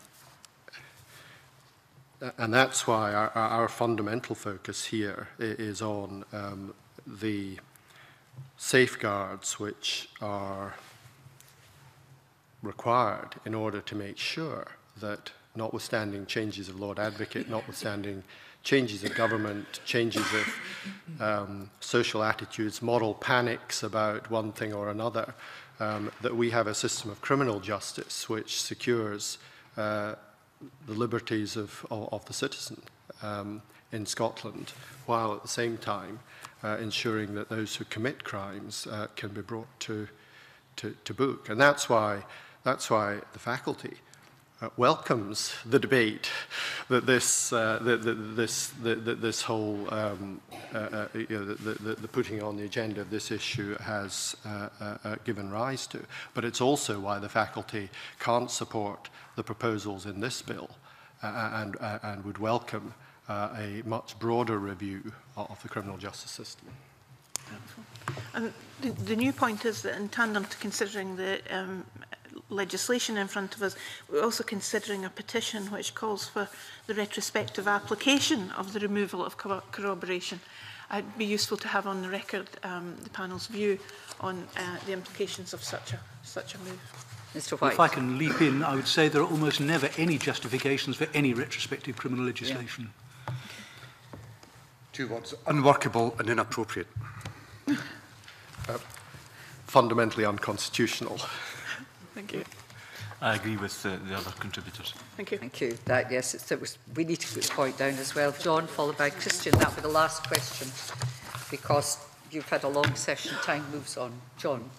Thank you, Convener. Uh, as someone who's not too long on the Justice Committee, you can fully understand that my knowledge of the legal system has been severely stretched. And uh, I think that taking that on board, what, the way I'm looking at just now is that what we have here is a proposal for the uh, abolition of corroboration. And uh, from that, what I find is two teams, i.e. yourselves and that of the, the Lord Advocate. Now, where I find the difference is in the Lord Advocate's submission, he highlights quite clearly, you know, that the system perhaps needs modernised, you know, for some of the reason that has been outlined here, you know, with the fact that, you know, nearly 2,800 eh, no victims, but uh, potential victims have not had their day in the court, and I probably agree that perhaps the day in the court uh, is not the terminology, but that it should be that their opportunity for justice being seen to be done. Now, where the Lord uh, Advocate has come up with ideas what I, what I think probably would have been more helpful for myself is that this is now the second session that we've had in corroboration and the witnesses last week and indeed yourselves have not been helpful in the extent that where you've spoke about you know we need to change you've never come up with any uh, modifications that would certainly help the people who we believe are not getting access to the, the, the system. Is it too early for you to ask? Do you have any fresh ideas which would help those people that, that, that, that we, feel are failing, the system's failing? Do you have any ideas about how we could, you know, work uh, up the way forward to making sure that these people do get their opportunity? And is there, is there somewhere along the lines where, uh, you know, there could be a consensus between yourselves and indeed the, uh, the proposal here? Because what I've also heard here is that, you know, the, the kind of grenades uh, getting thrown into the ring, that, you know, the prosecutor's office may not be up to speed to deal with all those uh, uh, convictions that may be, you know, the, the, the people who come to, to see them. And, you know, and I just find that we're, you know, rather than trying to come to a solution, you know, we're finding ourselves that we're going to be miles and miles apart And uh, so I'm just wondering if you have any ideas just now as to how, and I think that would have been helpful for me to try and at least for me to understand what would be best for, for, for us for access to justice. I, I heard Mr White saying, um, perhaps Mr White would expand on that, perhaps we need to look at in particular cases uh, corroboration, which is, I think, you, the issue you're raising, you know, and that surprised me a bit because I thought we would be looking what would apply in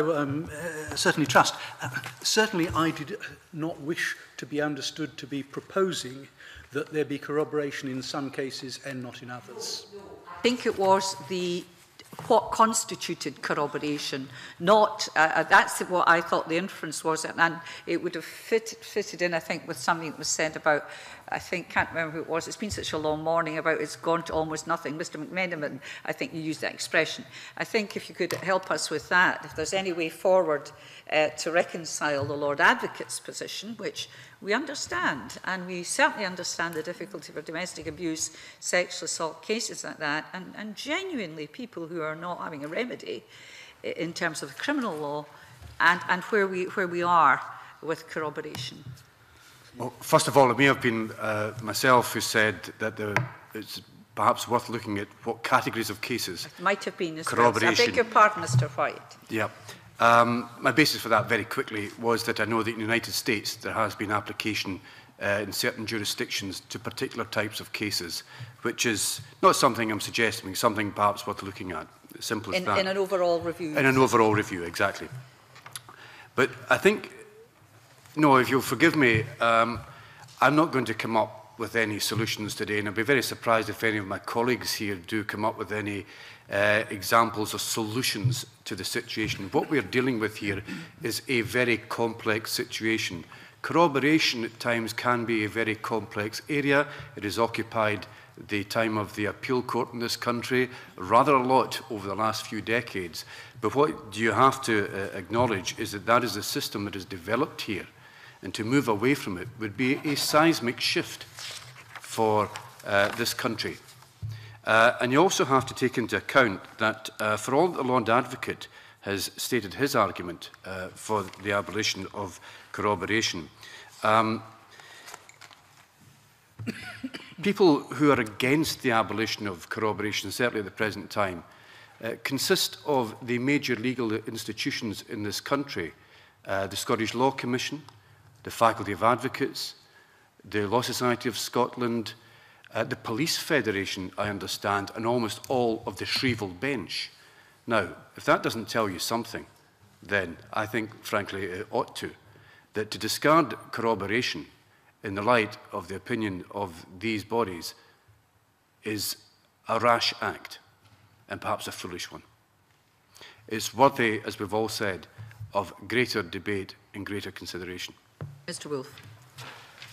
Yes. Um, th th there is, of course, a, a, a, a perfectly uh, respectable uh, uh, uh, view that the doctrine of corroboration, as we have developed it over, over uh, a long period of time, reflects uh, that practical common sense notion that you want to cross-check um, evidence from more than one independent source before you bring a case into court on the essential, essential facts.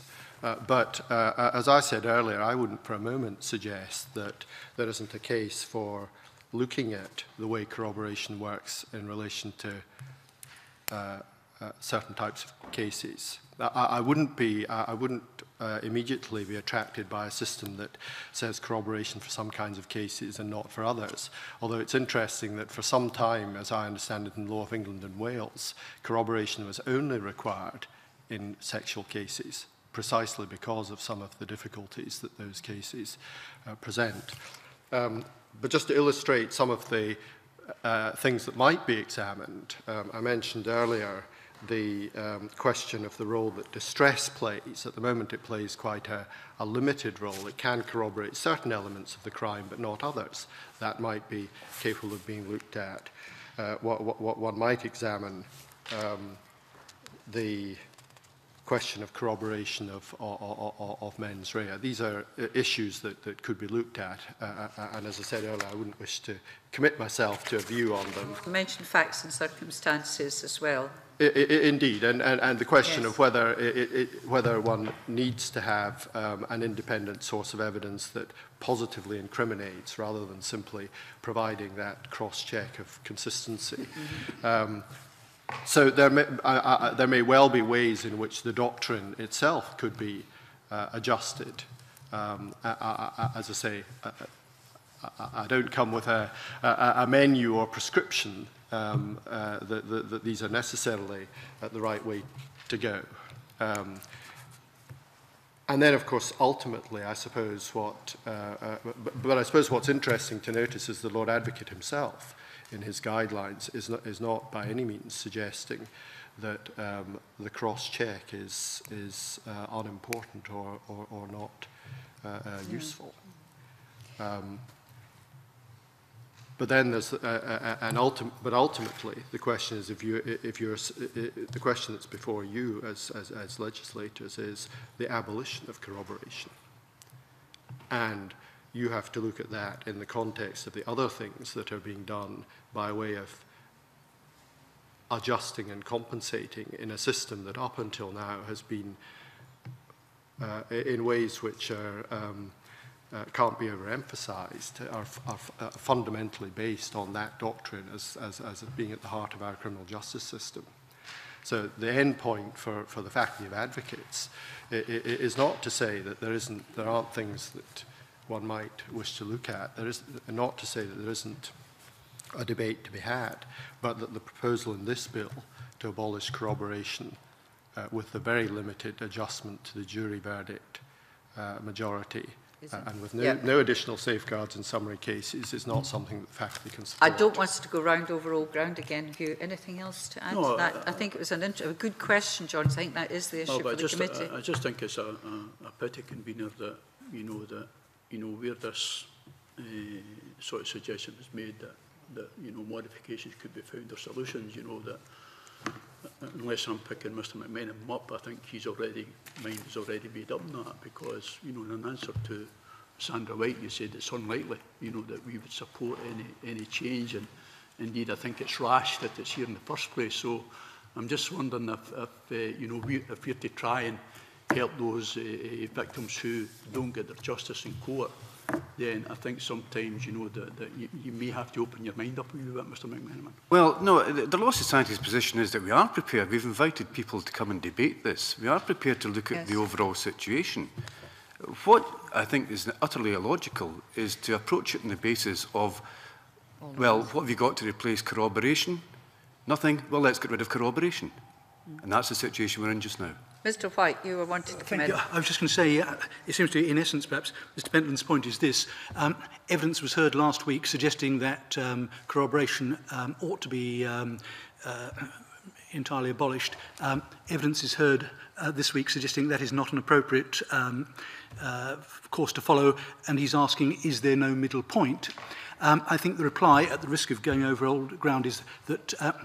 firstly, there was, of course, the, the further consultation paper on um, safeguards, which was, I have to say, it seemed to me a little perfunctory, mentioning two or three things about juries, essentially. But the main point, I think, which I, I think all four people this morning at this end of the table have said is that uh, perhaps the, the distance between these um, positions is the very reason for referring this to the Law Commission or a Royal Commission or a Departmental Committee or whatever it might be.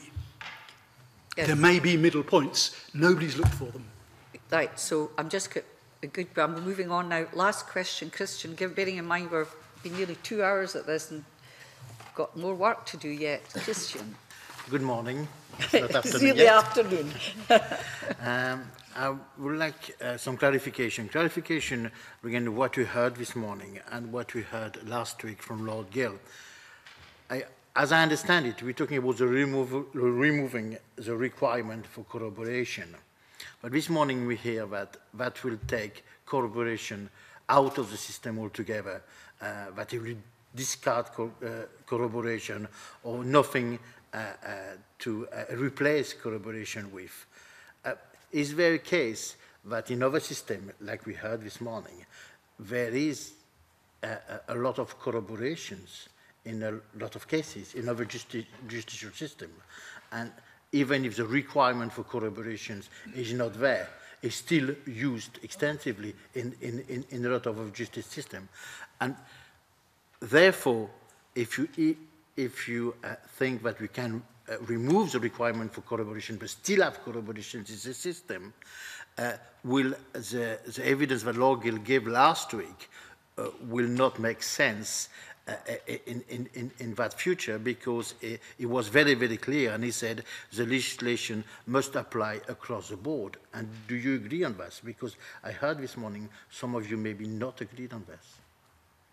Well, difficult to create different classes of case, some of which require collaboration, some don't, because very often cases come to court with a number of different charges on them. And say, for example, you've got one complainer who has alleged a number of different types of crime against the same person, how do you explain to a jury, well, charges one and two do not require corroboration, but charges three and four do? It's, I mean, uh, directions, juries absorb a lot of directions in a, a short space of time already, and it's difficult for them to, sometimes for them to get their heads around it, but they do their best. I think it will make it very complicated if we create certain classes of case where corroboration is not required. I think what, uh, what we are saying... example for um, you know, the complaint, the kind of uh, uh,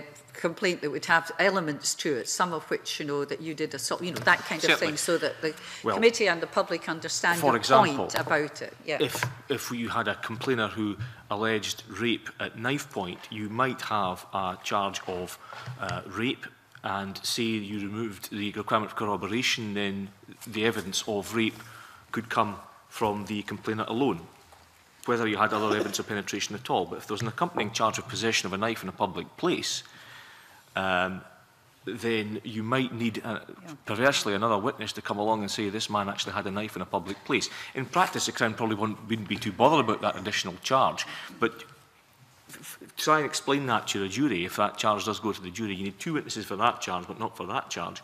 Or you may have a, a, an accompanying charge of uh, some, some act on the part of the accused to try and destroy or get rid of evidence. Again, would you make that the type of charge which requires two sources of evidence or just the one? So what Lord Gill is saying is it would be very complicated, a complicated exercise to try and uh, make different classes of case, some of which require corroboration and some don't. I think that um, if you are determined to remove the, uh, or to weaken the evidential requirements, which effectively getting rid of corroboration would be, in order to improve access to justice, uh, this is a question, going back to Mr Benton's question, and give witnesses their day in court, then you've got to understand it would not be the only consequence. It would not, the only consequence would not simply be more cases would go into court. What else would, would you be achieving? Well, I do not think, and I don't think uh, any of the contributors have heard to the constitution, including Lord Calloway, can say that you would achieve more convictions. In fact, Lord Gill is quite clear that he believes you would in increase, uh, you would achieve a decrease in the conviction rate. And it stands to reason if you're weakening the, the, the, the amount of evidence you need, then you're even less likely to get convictions in cases, in the types of cases where juries are already um, reluctant to convict. And, and what will be the knock-on effect of that? What will be the, what will be the knock-on effect of that for the system? if more and more people have been acquitted of this sort of, sort of crime, then it's not going to in, uh, increase public confidence in the system at all. And if you do, as a result of that, produce one or two high-profile miscarriages of justice cases, then those cases will be very costly for the system, not just in terms of, of finances, because um, appeals to the SCC are, uh, are, very costly. If you, if you end up overturning a conviction, you're paying out compensation. And then many years down the line, sometimes you've got people coming out of prison and the public are wondering what went wrong. These, these, these cases are very costly for the system, both in terms of money and in terms of public confidence. And we have, up until now, managed to avoid them for a reason. And corroboration, to me, is the main reason.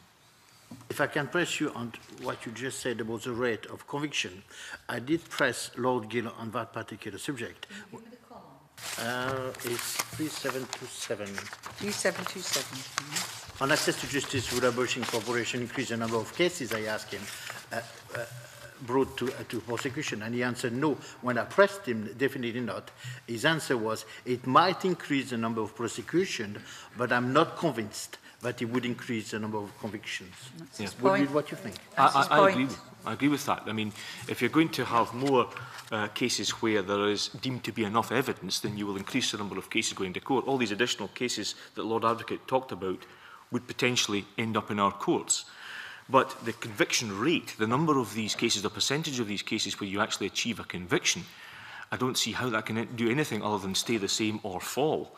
I have uh, figures for 2011, 2012 um, rape and attempted rape, um, there were 20 acquitted not guilty 2011-2012, 16 acquitted not proven, 50 charge proved. So that was 36 acquitted, 50 charge proved, and an additional eight were um, not guilty accepted or deserted. So it's, it's just about 50-50 at the moment. And um, uh, I, got you? This is, this is uh, from the um, statistical bulletin produced by the government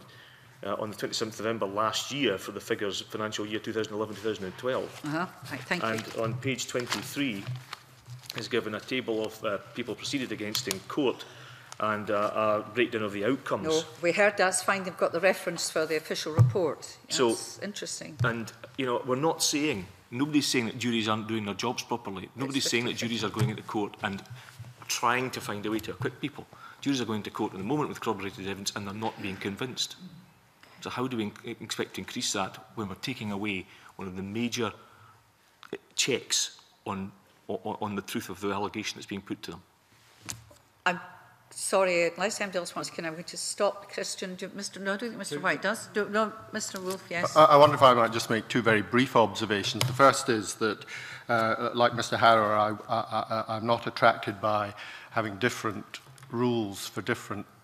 types of crime, and that's why I'm pretty diffident about offering possible modifications, well worth looking at, but one would have to look at them very hard. The second point is about the consequences upon uh, the, the question of the conviction rate.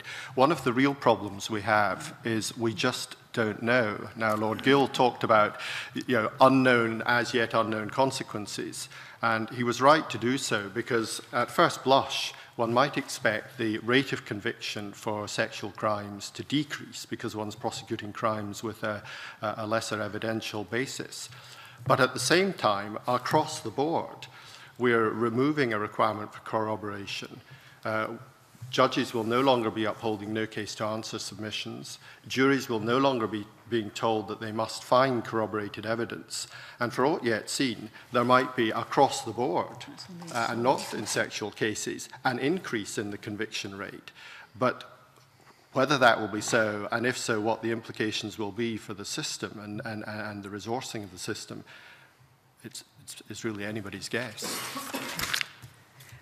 Thank you. i I'm looking at the clock and thinking we've all had a long session. I want to thank you very much, the witnesses.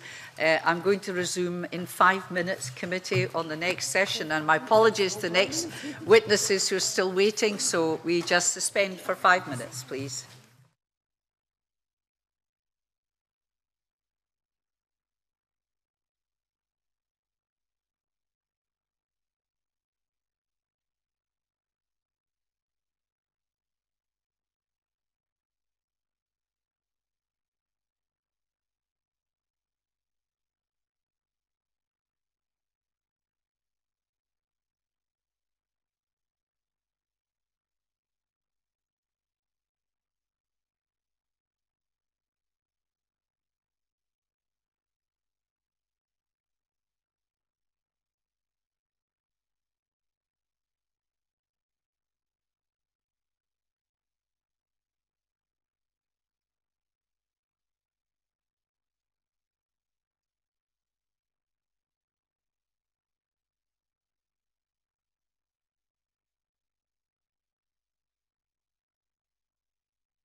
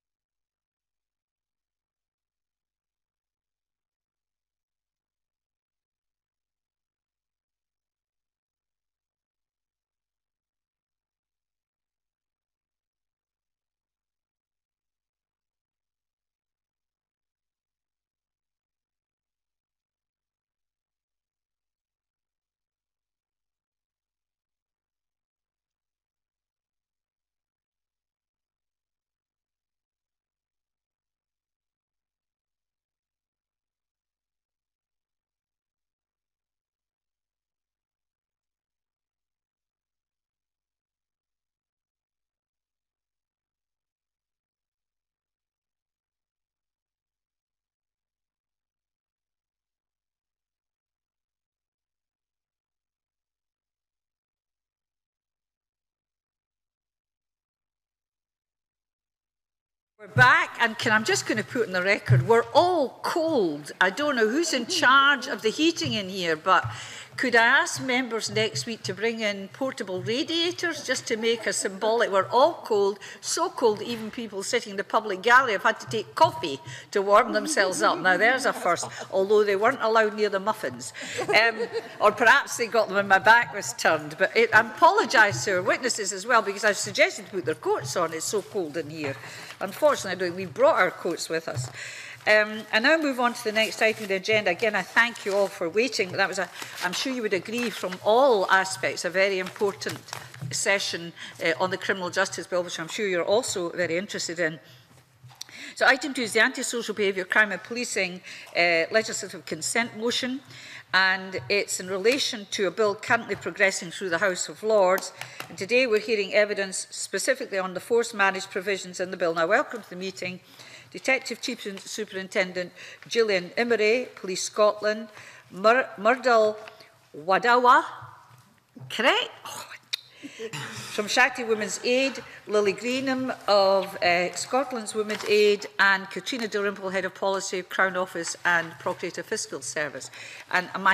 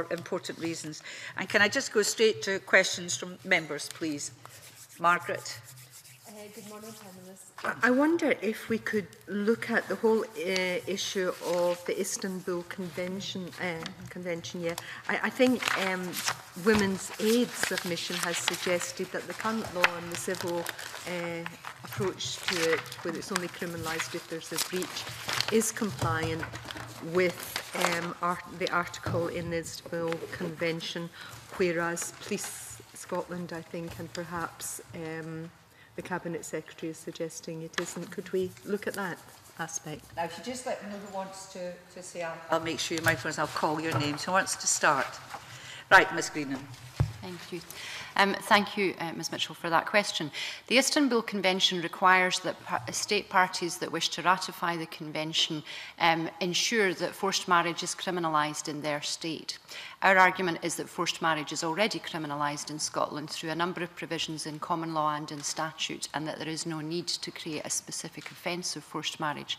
Um, our sister organisations in England, um, sort of particularly Southern Black Sisters, IMCAN and Dr Aisha Gill have also argued um, that there is no requirement to criminalise forced marriage or create a specific offence for England and Wales for the same reason that there is legislation already available either through common law or through statute um, that is sufficient and that criminalising it will be counterproductive.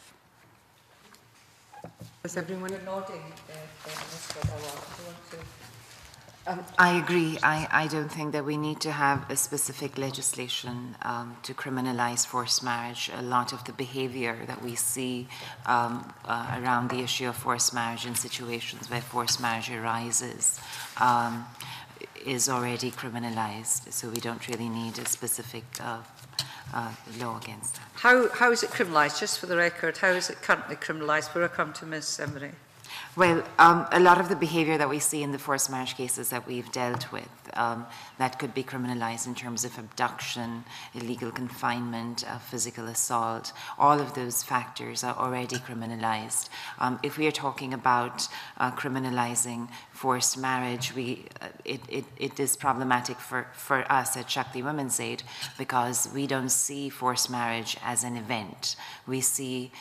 uh, forced marriage as a process.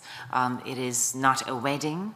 It is a process that starts for many people when they are children and it can end when they are adults or even much older than, you know, in, in their 30s and 40s. So what exactly are you going to criminalize in that process? There's a lot of behaviour as part of that process that, that is already criminalized. And I think we don't really need a specific legislation around that. That's one of the arguments. Yes. Thank you, Convener. Um, I think what we do I should all... call you Detective Chief Superintendent, I your title. Yes. Not at all. Um... Not at all, ah, all right.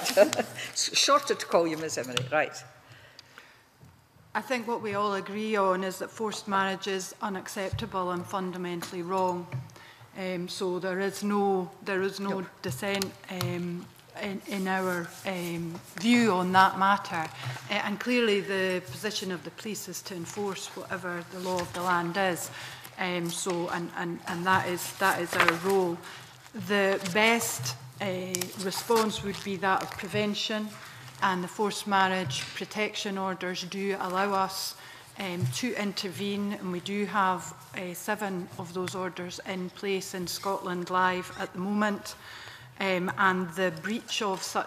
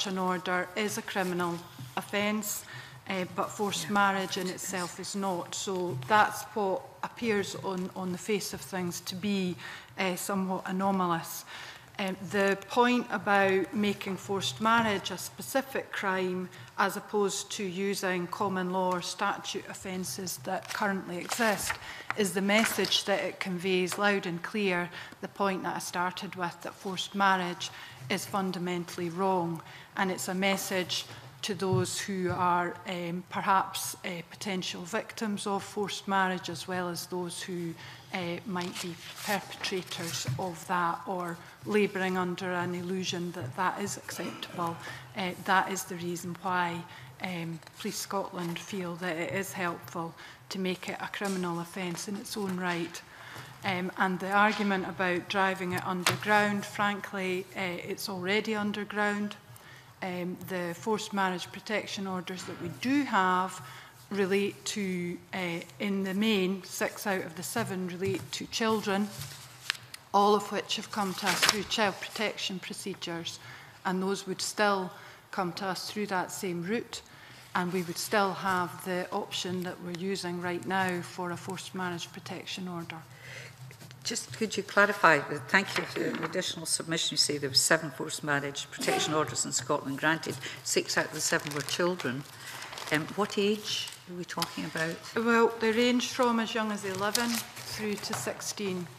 There's only one of those is, is actually 16, so a couple of 13-year-olds, 15-year-olds. I take it these are not live proceedings, so we can uh, talk about... I'm just interested to see at they what stage... You said it was a process. They are live. Yes. They are interim forced marriage protection orders, and, to that, and because of the small numbers, I would, I would be unable to be absolutely. very specific because I'll be in danger of identifying yes, the individual. Absolutely, involved. no, absolutely, that's why I asked. Yes, um, yes please, Mr Dalrymple. Thank you. Um, I just would like to, to, to state that Scotland's Prosecution Service will work within whatever criminal law that the Parliament sees. Well, we would hope so. We hope you would work out with yes, it. yes, no, we will. It, it, obviously, I just want to stress that it is a matter for the Parliament.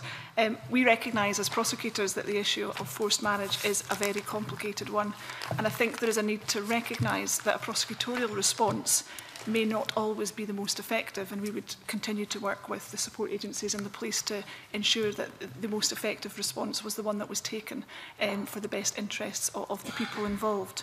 You asked, I think, initially in relation to effective criminal sanctions. Are, are they already in place?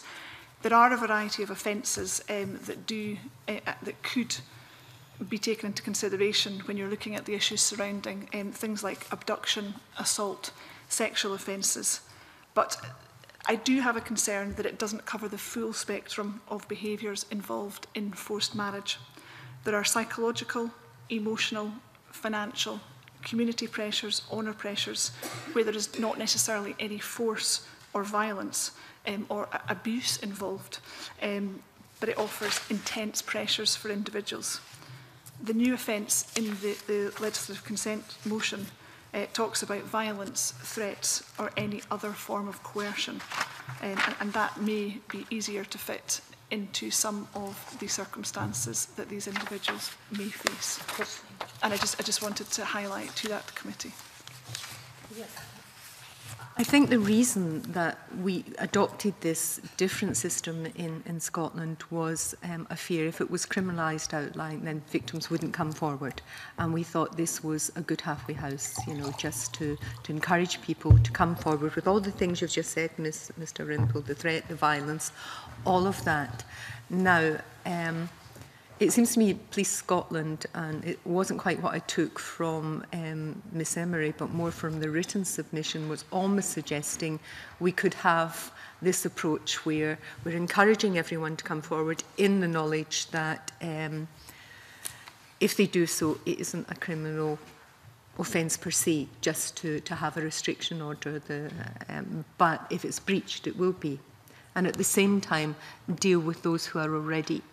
in a forced marriage where it's been proved they're already in it to make that a criminal offence. Could you comment on, on looking at it from that perspective? Is there any problem with that? It seems to me we're balancing the two things then.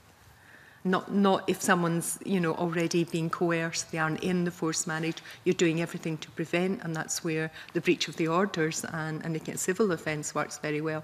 But if they're already there, as things stand in Scotland, it isn't a criminal offence per se because we're relying on all the, the things um, Ms Dal Dalrymple talked about uh, for people who are already in a forced marriage. So is there a balancing act to be had there? Can I, um, just in terms of statistics, uh, we,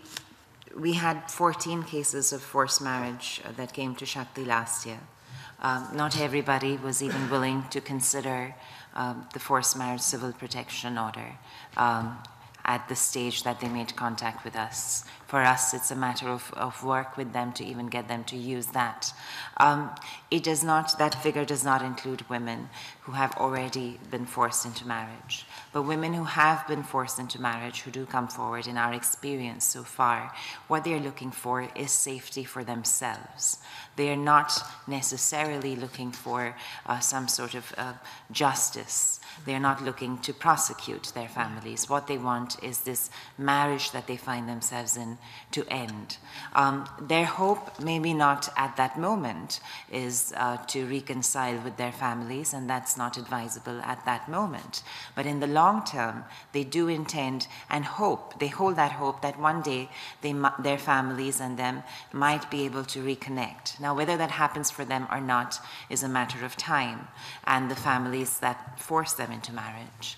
Um, so if we criminalize that aspect of, of marriage that has already been forced and women coming forward and saying, I was forced into marriage, then that long-term hope might be significantly diminished. But the reality is that the focus for most of those, even in that situation, coming to an organization like Shakti, Hamad Greif Women's Aid, or any other Women's Aid, is that they want this marriage to end. Um, it may also be that the, that the man or the woman they are married to um, is not aware that this marriage was forced onto their partner so do we also want to criminalize someone who isn't actually aware that their partner was forced into marrying them? So all of these questions um, continue to be raised. We could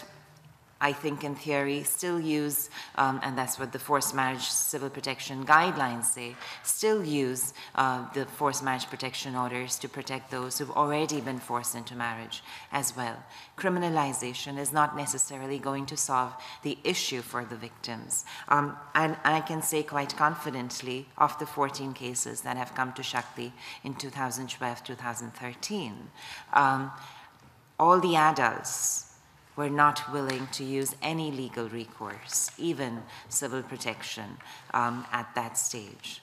So, so criminalization, um, will they even come forward if we criminalize? But they were willing to speak to the police as long as the police were able to guarantee their safety. And that's the response that has worked, where their safety at that moment has been protected and the police have worked. No one has gone and challenged and prosecuted their families. But putting that safety in place, what that has done for victims is, is that if something that they feel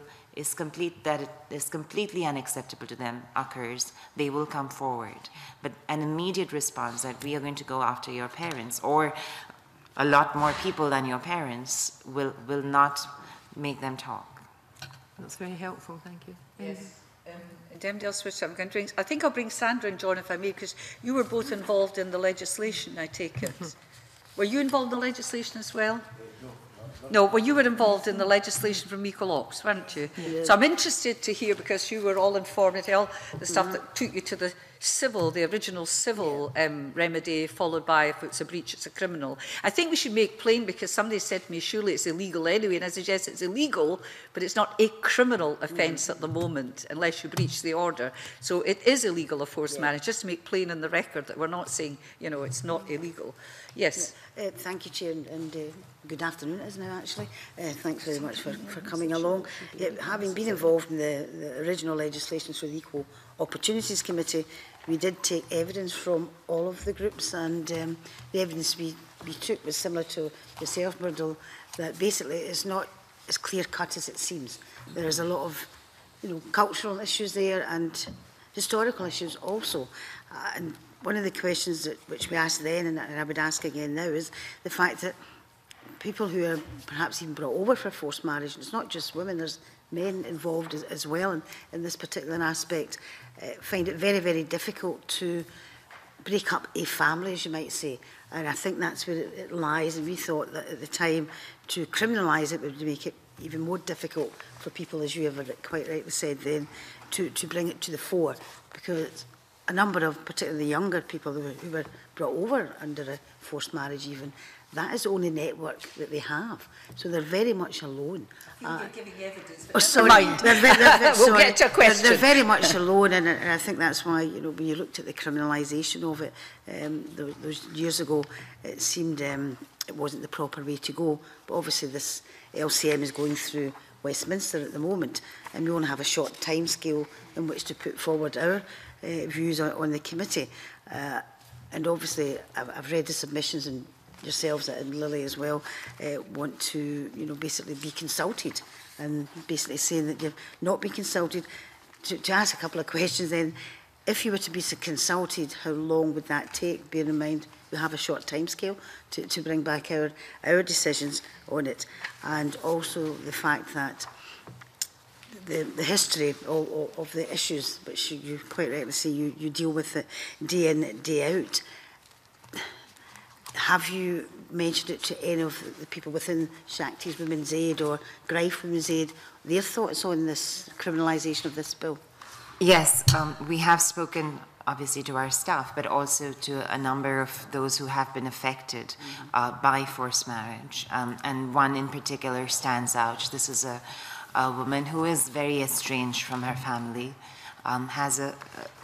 some relationship with them. Her forced marriage took place maybe about 15, 18 years ago. And it's only now that she's coming forward bravely to talk about forced marriage. And even her, um, who did go and ask for safety um, at the time when she was still um, a teenager um, and didn't actually get the most effective response, which is still true for a number of victims of forced marriage today.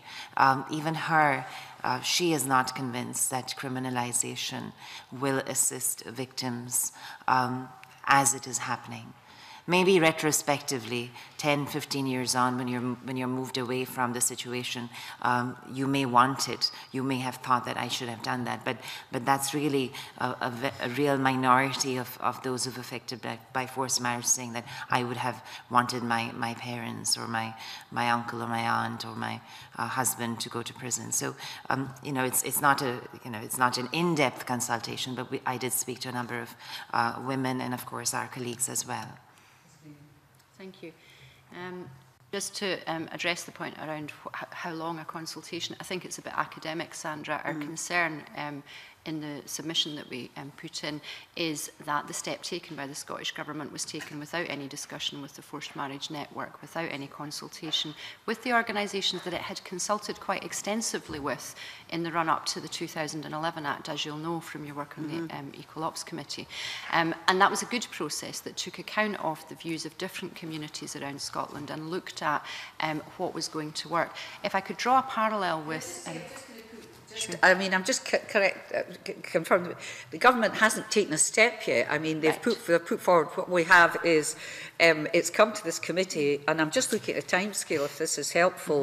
mm. that we've got to report by mid-December, and on the first week back there'd be a debate. Now, uh, this committee is very influential.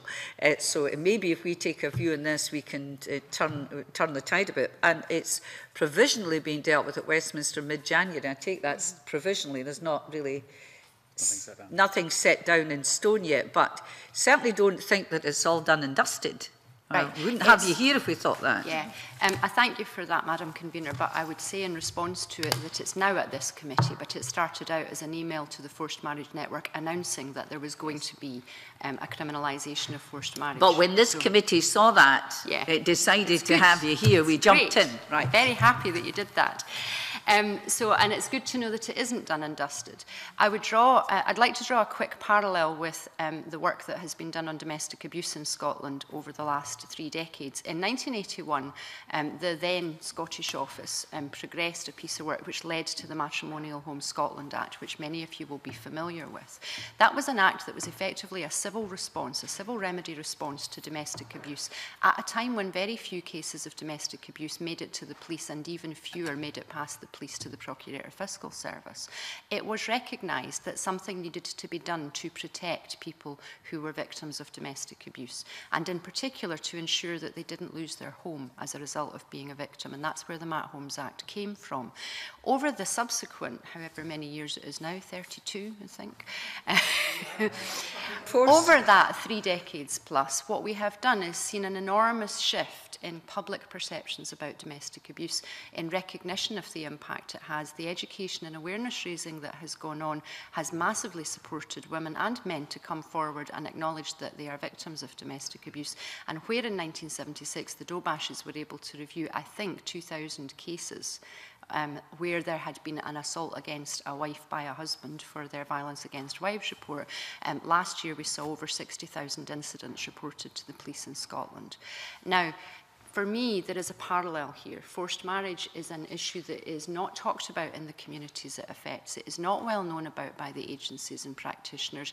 And, and having a civil remedy enables that process of education and awareness raising to take place alongside making sure that protection is available for those who are um, at risk of being forced into marriage. It is a lot of different behaviours. It's a lot of patterns of behaviour. Where there's a criminal act that can be identified, there is law in Scotland that already allows it. So just to... Does anybody else wish to comment? What about the police? Because you've got a different view about this, and uh, what we seem to be hearing is this, this would be counterproductive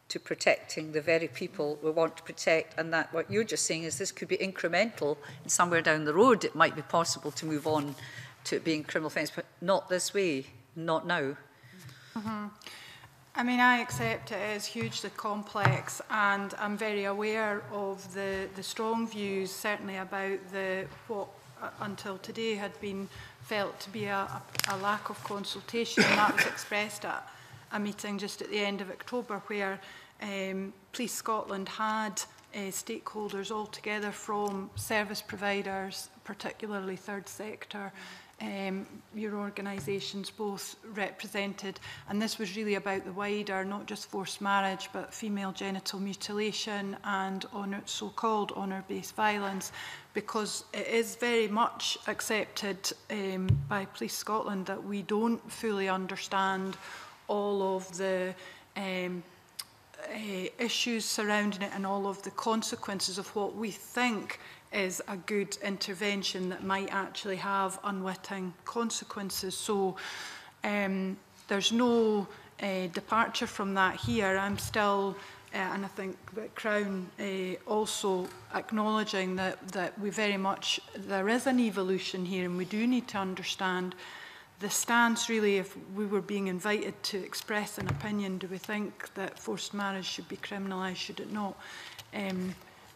our response is that we think it should because of the clarity of message as much to the communities as to um, our own teams and how we actually recognise and deal with what is a problem.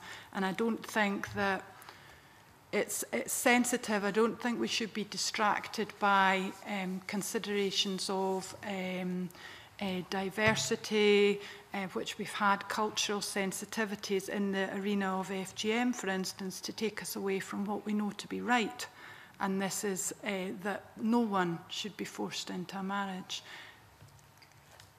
We, sorry, we are taking that message out anyway through the Civil Protection um, Act because after the Act there was uh, a significant public campaign around the issue of forced marriage and that it is not acceptable.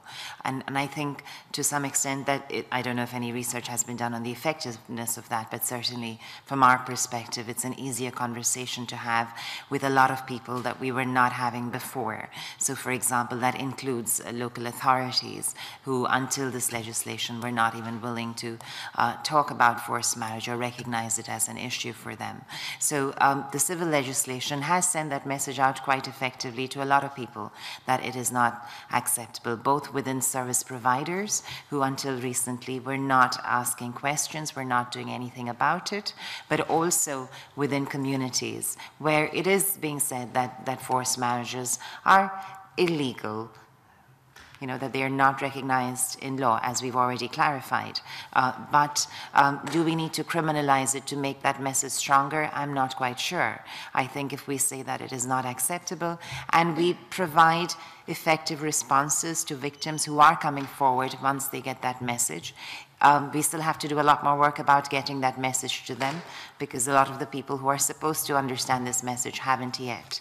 still, there is still confusion between the difference between a forced marriage and an arranged marriage, yes. and that is not amongst victims, but actually amongst those who are supposed to protect them.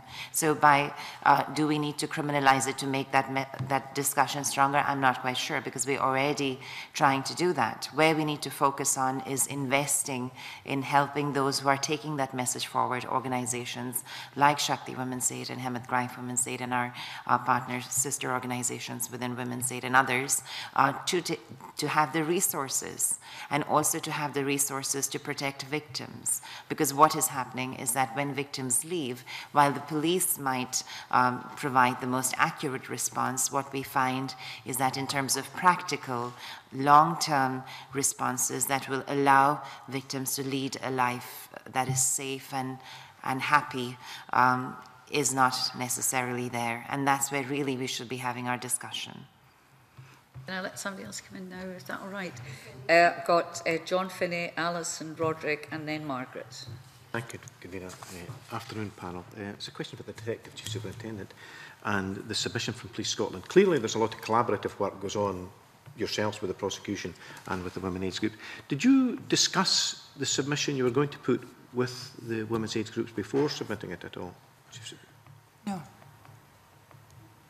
That's not indicative of collaborative working in that case then, is it?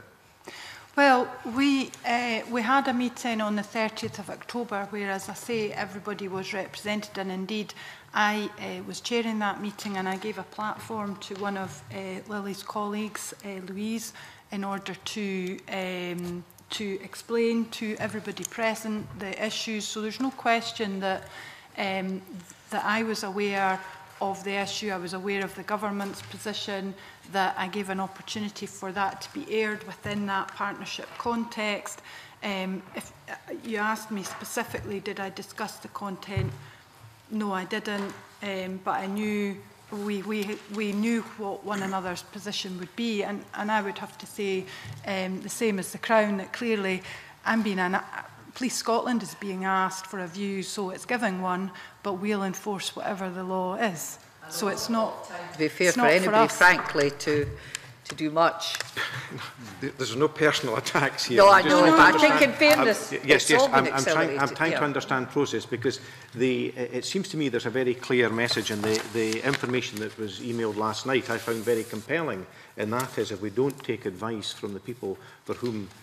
the legislation is intended to affect or the communities, then I, I think we ignore the, the message from there at our peril. And so eh, it is the view of Police Scotland that specific legislation on top of what already is there in the terms of abduction, breach the peace, false imprisonment, trafficking, you know, that, that, that would change community attitudes.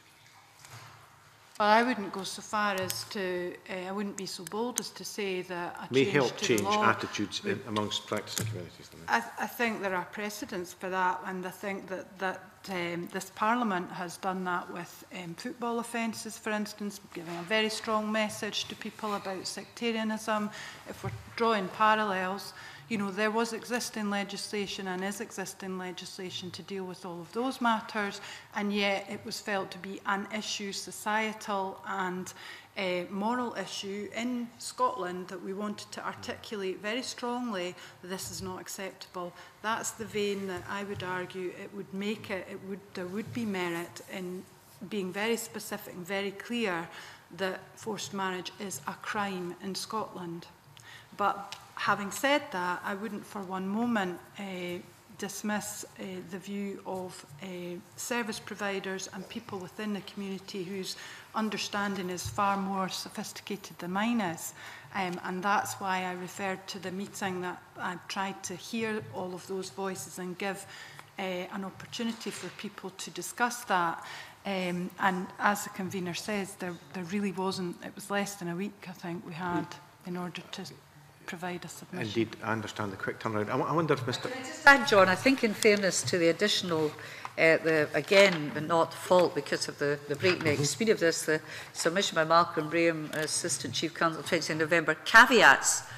lots of things that you've said about the existing legislation, uh, not been around very long and also the fact that it's hugely unreported. So I appreciate your position is difficult uh, and that Thank we, you. we have this in this, the um, additional uh, submission you've made. Yeah. yeah. Uh, for Mr Dalrymple, please, I, I just wonder, uh, given what you've heard, and I absolutely appreciate that the police and the Crown Office Property and Fiscal Service will work with the legislation they're given, but has it been your view that the civil remedies combined with the existing common law has been insufficient to deal with an issue. We, um, that is the difficulty. We haven't um, the experience in relation to the civil remedies. Um, I think there is evidence that there have been um, a number of um, FMPO orders.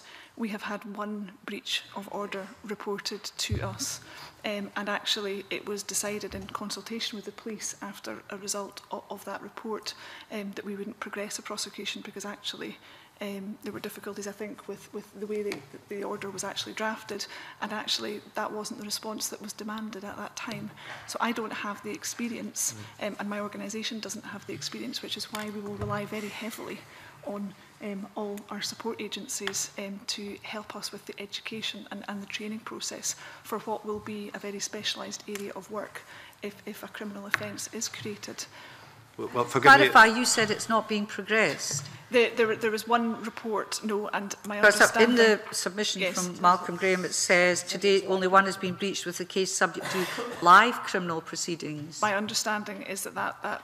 decision has been taken, that there will not yeah. be live criminal proceedings. Thank you. Just to clarify, because that. yes. that's what's in this. Right.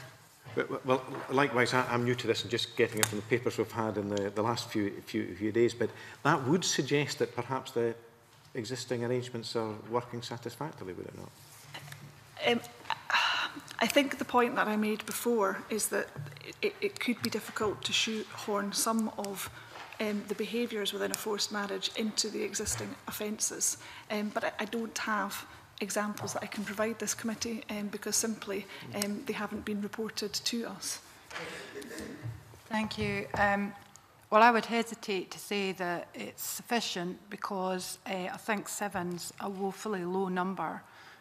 um, for, you know, we've heard Shakti talk about 14, not including women who are already in that position.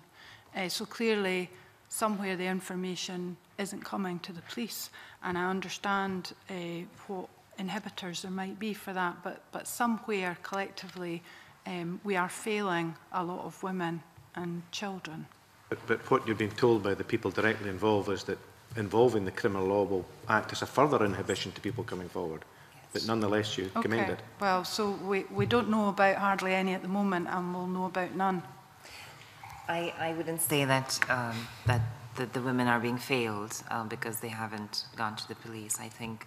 um, they, they have made contact because messages about the intolerance of forced marriage have reached them, and they are asking for assistance at that moment in time. Involving the police is not the sort of assistance they wish for. Sometimes it's just a discussion of their options, and maybe somewhere along the line we may have to involve the police. And, and I am speaking mainly of, of adult women with full capacity where they are children and adults with incapacity, um, it, it, requires a completely different response, and we already have uh, uh, processes in place for that. It's not uniform, but I can tell you from experience, uh, to get those processes in place and to get people to take it seriously uh, sometimes can be a struggle because they don't necessarily understand the issue of,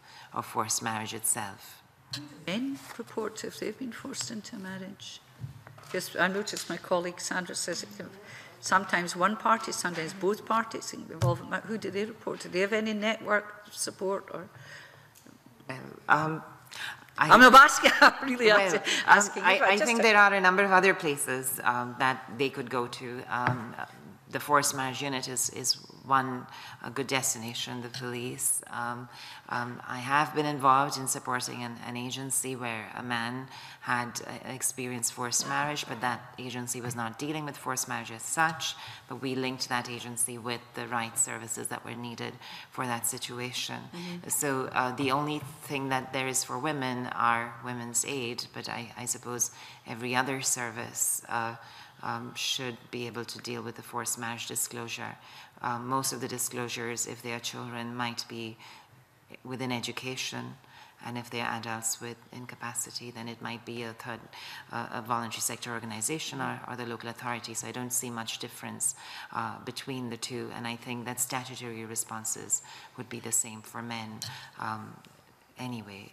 I mean, part issues. of the part of the thing this committee take the evidence is that people who are interested in this may indeed be in a forced marriage. Mm -hmm will be able to read and hear what you say mm -hmm. and may never have thought of reporting it. So it, apart from looking at the LCM,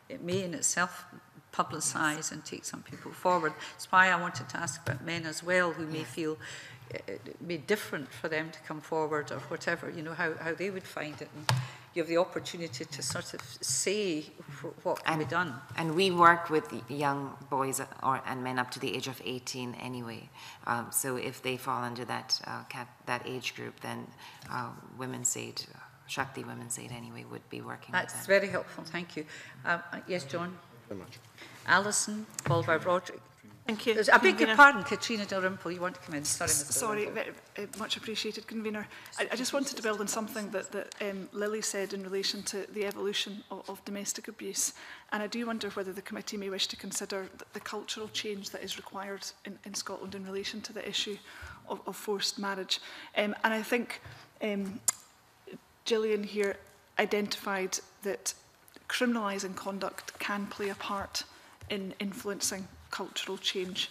Um, it's not the whole story and it, it may be a very small part of the story. Um, but I do think that there has to be some benefit in, in clarifying what in Scotland is unacceptable and, and criminal conduct to make it clear for people. Um, not just the people themselves that are, are, are subject of that, but the people surrounding them the, the, the schools, the education system, the social workers, making it very, very clear to everybody that that, that, that is um, potentially criminal. Um, and I think that that does have a part in, in changing attitudes about what is acceptable. And I think we saw in relation to the stalking legislation that by calling it a name and actually taking it and, and giving it a unique name, then we have made inroads in relation to victims of stalking coming forward and actually telling us what has been happening to them. And I just wanted to make the committee aware of that, if, if that would be I, I think we can take it as a general point, but it's not one size fits all. Okay, I want to, right. no, I, I want to that. Uh, take... Uh,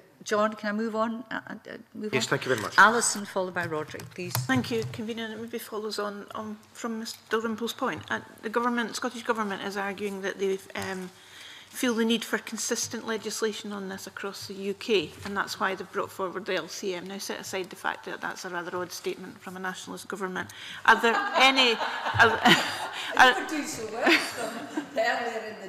Are, are there any unintended consequences of not agreeing to the LCM?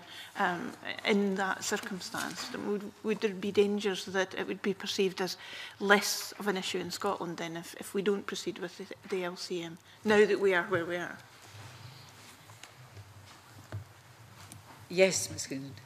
Scotland doesn't have a specific offence of marital rape it's an offence to rape the person you're married to or to rape a woman you're in an intimate relationship with. And now under the most recent Sexual Offences Act, it would be an offence to rape a man that you were married to or in a civil partnership with. But Scotland does not have a specific offence of marital rape. England does. There is statute, there has to be, there has to be statute in England because that is the way their law works. It's not the way our law works. So... That's one part of an answer, yes. And, uh, no, no, it's a fair point. Just the first thing that occurred to me. Yes. Anybody else wish to comment? Do we have to, what about enforcement? What about cross-border? How would that, you know, if you had...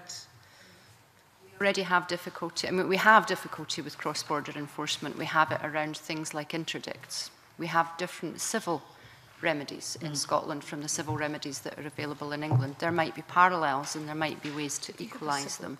Um, until relatively recently, and I'm not sure that it's actually gone all the way through, you couldn't, you couldn't register to vote anonymously in Scotland as a survivor of domestic abuse using your inter interdict as the evidence for the um, electoral registration clerk that you had in fact got a reason to need to vote um, anonymously um, you did in England and Wales. And if you came from Northern Ireland, England or Wales to Scotland, you could pitch up at an electoral registration officer and say, here's my injunction, you've got paperwork that tells you you recognise that, and they could get registered to vote anonymously in Scotland, but not a woman from Scotland. So we've already got cross-border issues. We find ways around them.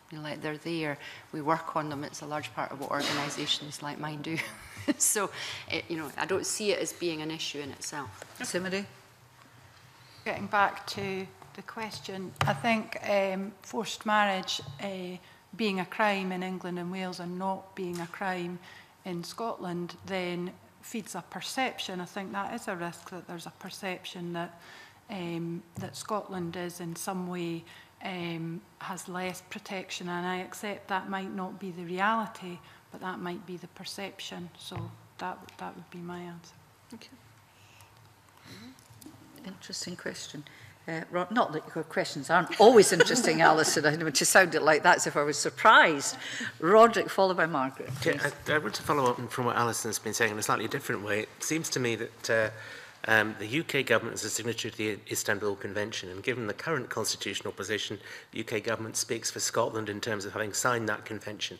Scotland has a different criminal system, but we still have, therefore, the key question in my mind is, does, do exist, does existing legislation in Scotland meet the requirements of Article 37? The Scottish Government says there is no specific crime in Scotland forcing someone to marry or taking advantage of their lack of understanding to trick them into taking part in a marriage.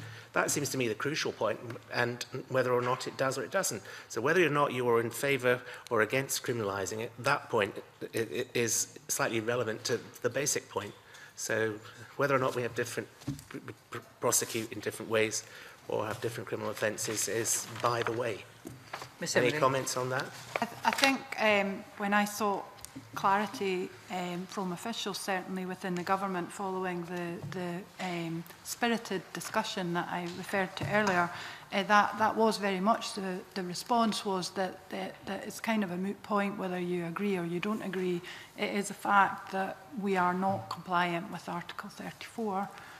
um, at the moment, that forced marriage is not a crime in Scotland. So Hence, that was the response about the, the uh, lack of consultation because there was really no requirement for consultation because that is, that is a fact.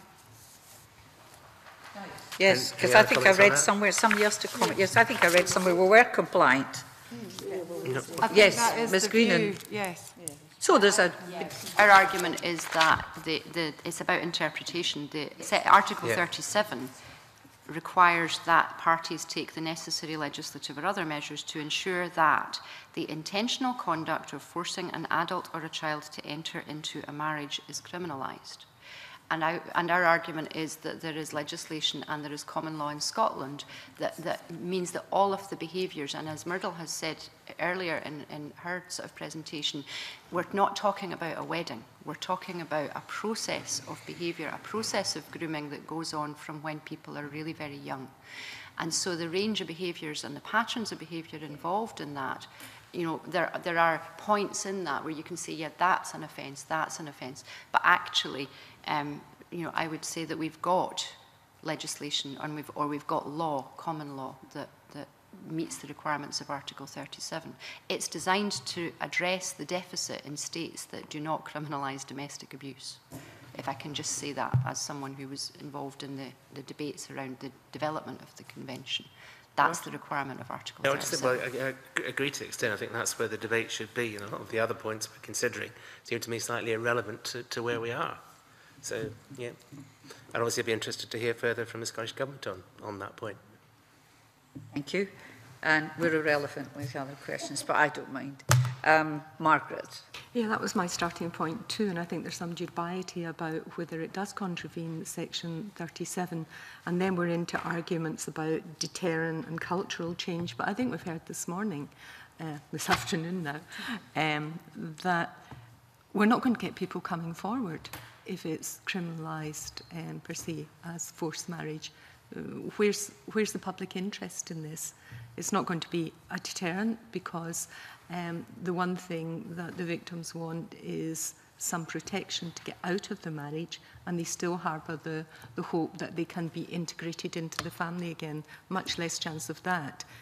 if it's then become a criminal offence. Um, I notice in the Women's Aid submission there's a, a suggestion that if the um, if MPOs, the um, protection orders are breached and criminal proceedings are started, it should then be looked at as an aggravated offence. And that may well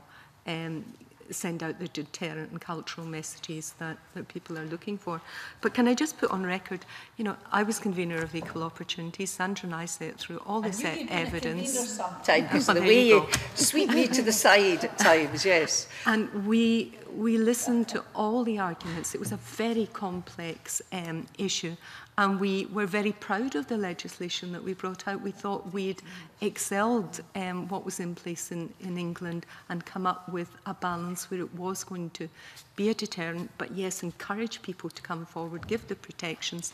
And I really feel in the, the government has jumped the gun in seeking to obtain a, an amendment on the 15th of October without scrutinising how the orders are um, working in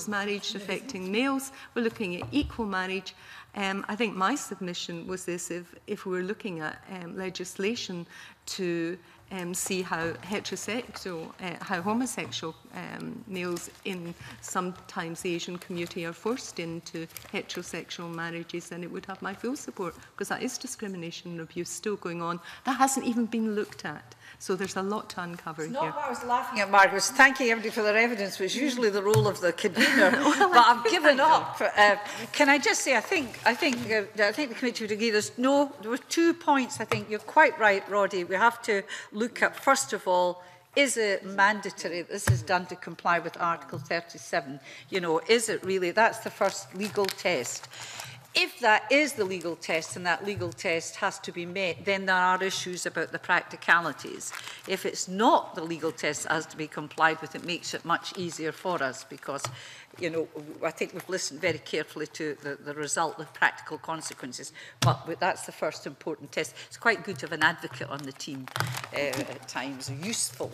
Can I thank you very much for your evidence? I thank you for your patience in, in waiting such a long time uh, to give your evidence, and I'm just going to let you go and get warmed up, um, and we'll move on to the next item.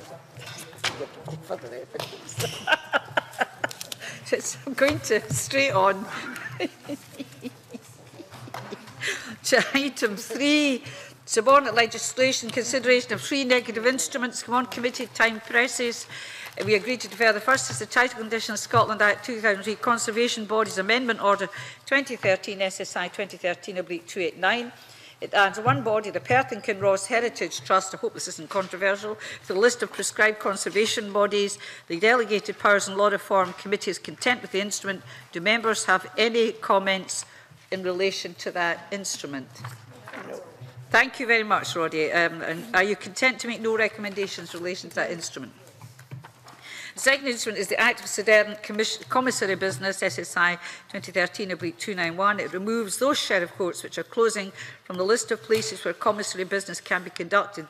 The DPLR committee is content with the instrument. Do members have any comments in relation to that SSI? Not content with the closures, but... Well, I know, but it's not talking about those now. It's a technical thing now. So are you content to make no recommendation? Thank you. The third is the Drugs Court Scotland Amendment Order 2013 SSI 2013-302. The instrument removes the requirement for there to be a dedicated drugs court in the Sheriff of Tayside Central and 5. The DPLR committee is content with the instrument. Last week a query was raised in condition in relation, I beg your pardon, to the impact assessment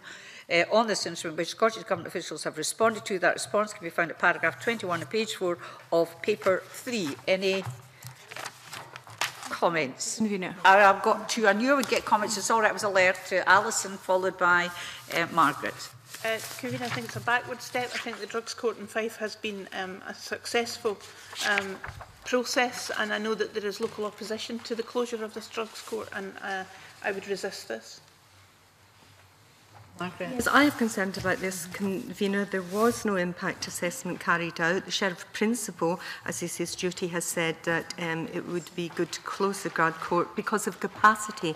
And my question is, mm. has capacity issues arisen because the drug court sits in Dunfermline and Kirkcaldy Sheriff Court and at present um, there isn't enough capacity because of the planned closure of the nearby Cooper and JP, Sheriff Court. So it seems to me it's for all the wrong reasons. This was 2002, a pilot, no impact on recently and how this has worked.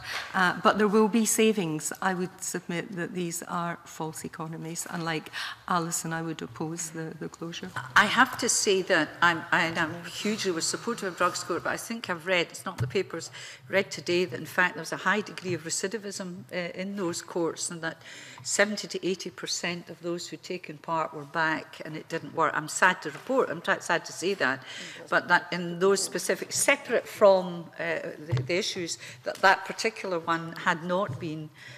uh, whole host, and I've been at drugs courts, and it's very complex for the sheriff and support teams had not been successful in the way one would have hoped. Roddy?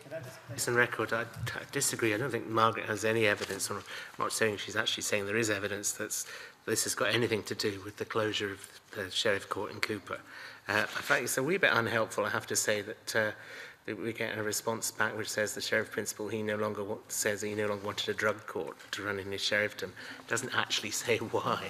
Um, so it's well, left, left things a bit more confused than they might otherwise I, I don't want to publicise yeah. the Herald newspaper, I've done it, but I think in response, the government response date gave the percentage of yeah. recidivism in terms of drugs, uh, well, which uh, sad to say was very high, I thought, for, for a, you know, a dedicated court, yes.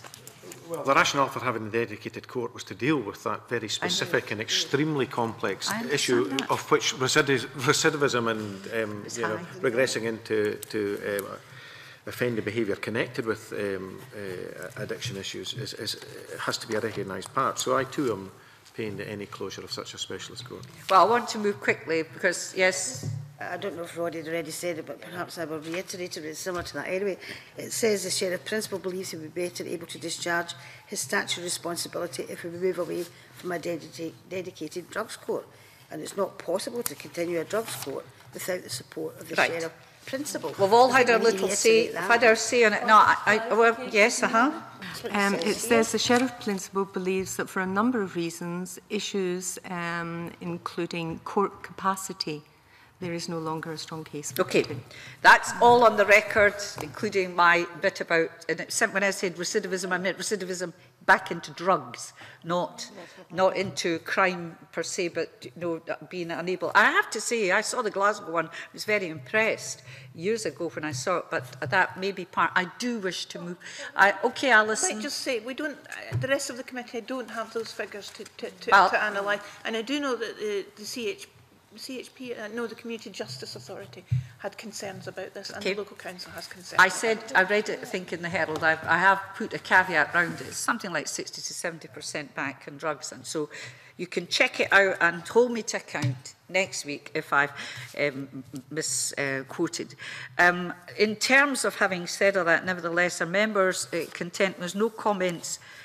uh, uh the conclusions reached. You content to endorse the conclusions reached by the DPLR subject to, oh, I beg your pardon. Are you content to make no recommendation in relation to this instrument? Not content. Has to be reported by the 2nd of December so we can do a quick report, which you can all see before it goes out. It,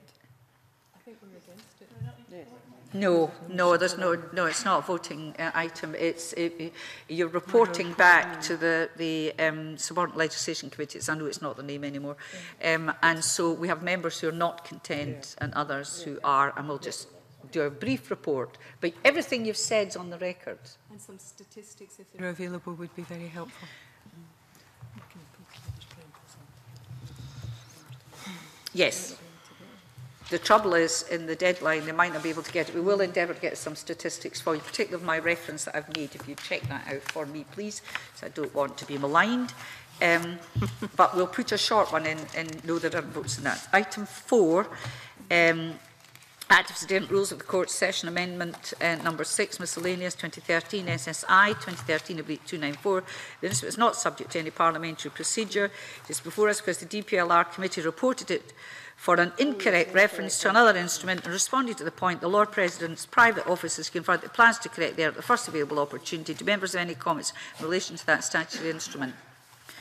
Um, are members content to endorse the conclusions reached in the DPLR by the DPLR? Yep. Is that a yes? A yes? Yes. Right. Um, now, what's this? Okay. Uh, item five, offensive behaviour at Football and Threatening Communications Act. Return to consideration of this. Um, you'll recall that we invited responses from the Minister for Community Safety and Legal Affairs, the Chief Constable and the Lord Advocate in relation to the issues raised in correspondence to members regarding the operation of the Act. These responses are included in your papers, paper six, along with a further response from fans against criminalisation. Can I just give you a wee uh, warning about sub judice? Members not to refer to any specific cases in case they are live, but reference can be made to general issues arising from the Act. As you know, calls are made in the correspondence received for an early review of the legislation. The Act is due to be reviewed for the period 1st of August 2012 to 1st August 2014, with a report to be of the review to be laid before Parliament by 1st of August 2015. We are therefore invited to consider whether, in light of all the correspondence response received, we consider that action needs to be taken at this stage. In doing so, we need to bear in mind that any issues of police misconduct should be referred to the police complaints procedure – Also, the issue referring to domestic violence is not directly related to the operation of the Act. Do members have any comments on the correspondence received? Margaret. John. It seems to me the responses from the Minister, Police Scotland, and the Crown don't actually seem to address whether the um, Act is working in practice better than the previous legislation. I think that's the whole nub of the, the problem. So for me, we are no further forward. John? Uh, well, I, I would dissent strongly from what Margaret said there. Uh, I've said all along I support the legislation uh, and um, but I was keen that we address the concerns that were raised with us and uh, I think given this healthy bundle of papers two inches deep Um, I think we have a lot of information which is in the public domain. Um, uh, the clerks are, are, confirming there. Um, for me, the principal uh, issue was about the perception of a disproportionate impact, and from the statistics we have, that isn't borne out. Um, um, and uh, with regard to, if we go back to the historic position, which I, I hope is still alive offer, that was awareness raising of the legislation, which I think is key. In, in, in this legislation, we've been told about engagement with fans groups um, and guidance indeed on specific um, uh, emerging trends and, and, and indeed songs, I think, are referred to. Um, it, I find it disappointing because all along I, I, I want people to engage. I want I would, would encourage that. The information that we have that in relation, and it probably best I quote, Focus, which is the um, football coordination unit for Scotland, hosted a number of events around the country for supporters in the period immediately prior to the Act's implementation in 2012. Um, and this, they say, provided an opportunity to discuss the bill and address supporters' concerns. A key theme was to reassure supporters that police tactics would not significantly change once the legislation came into force. Focus continues to engage on a daily basis with elected members, supporters groups, fan liaison and individuals members of the public to answer queries and provide education on the operation of the legislation. And th this is the bit that, that I find um, most disappointing, Convener, the, the final sentence of that paragraph, which says, in many cases, however, those vociferously oppose the Act have repeatedly declined to meet focus officers. And I think we need engagement. We need people to be speaking to understand that. So that's with the, the two issues of awareness of the legislation and disproportionality. Um, I was reassured in relation to, and I raised the question of camera surveillance, and clearly from the, these documents again, we're told about handheld and body-worn worn cameras. And please, if you bear with me, I'll find the particular reference um, in relation to that, which was, and again quoting from Police Scotland, the officers supply, excuse me, the officers deployed as evidence gathering teams equipped with body worn video and handheld cameras undertake a training course which includes information on police powers. Well, that's very reassuring for a start. But I think the significantly human rights and data protection, and they are expected to provide members of the public with this information if asked to do so. Um, clearly, we want um, the police to use technology to um, acquire evidence in ways that are both data protection and human rights legislation compatible. And um, again, back to the avenues of redress and conscious of your comment about live cases. Um, at previous occasions I've, uh, and representations we've had made to the committee, I've encouraged cooperation. I've encouraged fans to come forward. And if there's any suggestion of wrongdoing from whatever quarter, to raise that.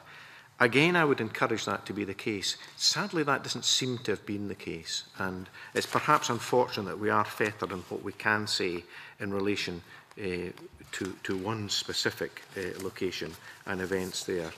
Um,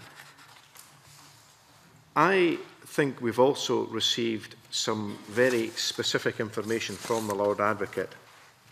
Um, and I don't know if protocol would permit me reading out some of the information that's yes, in there. Well, that's the public domain, that's the letter from Lord Advocate. Yes, right. of course it is. Well, I'll have to use phrases like F star star star, uh, then um, convener.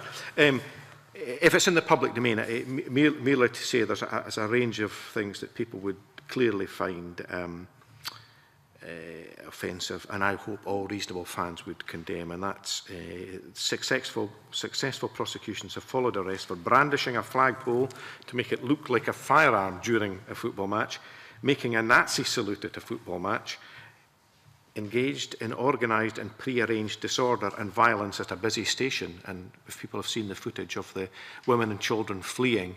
Uh, uh at, a, at a major railway station in Scotland, and that surely uh, would upset people. Uh, abusing passengers, including children, en route to a football match, wearing a T-shirt in sight of opposition fans with the words um, mentioning an organisation, F and uh, other information. Um, say, John, that he does say, appreciate, of course, that this type of behaviour is carried out by a small minority, mm. you know, and, and one doesn't want to tarnish. No, no, no I, I, No, I'm not. I'm just saying to conclude the quote, you know. Yes, yes, absolutely. And, and, and, and, and I think, um, I mean, clearly I've highlighted many passages in many of the reports here. And could go on at length, but I won't. I think some other things, I'm, I'm reassured, I think both the Minister and the Royal Advocate talk about any suggestion of downplaying the fact that police officers are victims, um, I think is entirely wrong. If someone has got something to, deeply offensive to say about some, um, it shouldn't make any difference whether that individual who receives that abuse is a police officer or not. So the fact that 13.1% of the charges relate to um, police the police officers, officers being victim, I, I, I think makes no difference at all. Um, I was very keen that we um, uh, conduct an early review, um, and um, I'm aware of the academic um, review that's ongoing at Stirling University. Um, I, clearly, I'm no academic. There may be other academics in the, in the room here. The information I have received from all these various sources, which is in the public domain, has reassured me that some of the concerns that um, the um, supporters groups have have been addressed and indeed their understandings of positions and some of the emotive language that's been used um, has been dispelled. What I would encourage is engagement um, and engagement with the focus unit. This is, this is part of our role is to review. I, I feel uh, I'm content to leave things at this at this time, unless there were significant changes of, of direction in, uh, in policing, in the knowledge that um, this legislation is under very, very tight scrutiny from various quarters, including this committee. But I'm content to leave the proceedings at that at this time.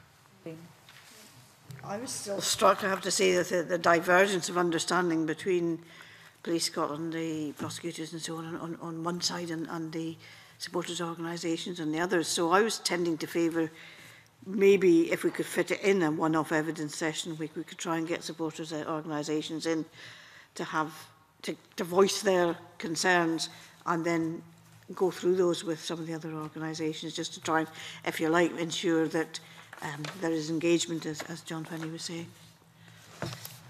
Sandra White, Lawson. Well, thank, thank you very much, Chair.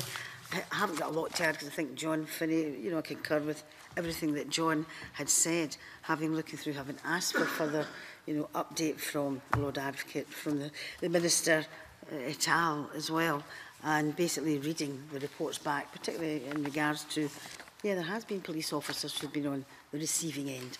Uh, we have that evidence there. I think uh, we have fulfilled what we were asked to do. I don't think need for any further action to be taken to move it forward. We're looking at that. That was what the actual committee asked for in the first place, was to look at the two full football seasons. We did get what we asked for in an amendment, and I think we should carry that forward. I don't see the point of uh, bringing forward an ad hoc committee or having an evidence sessions with some football fans. John quite rightly said there is the group who goes round the country who's open to meet with the fans and yet we find that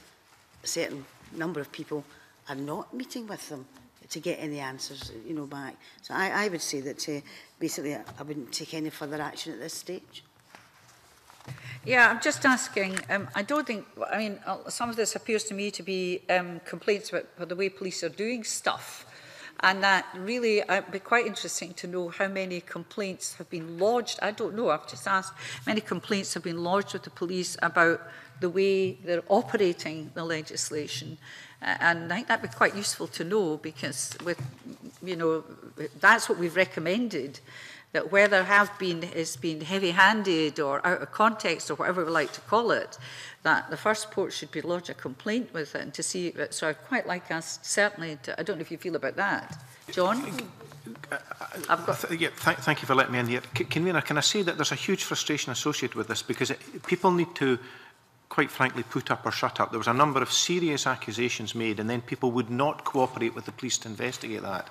Now, I think we need to have a rigorous system of investigating any suggestions of wrongdoing in the police, but that does require people to cooperate.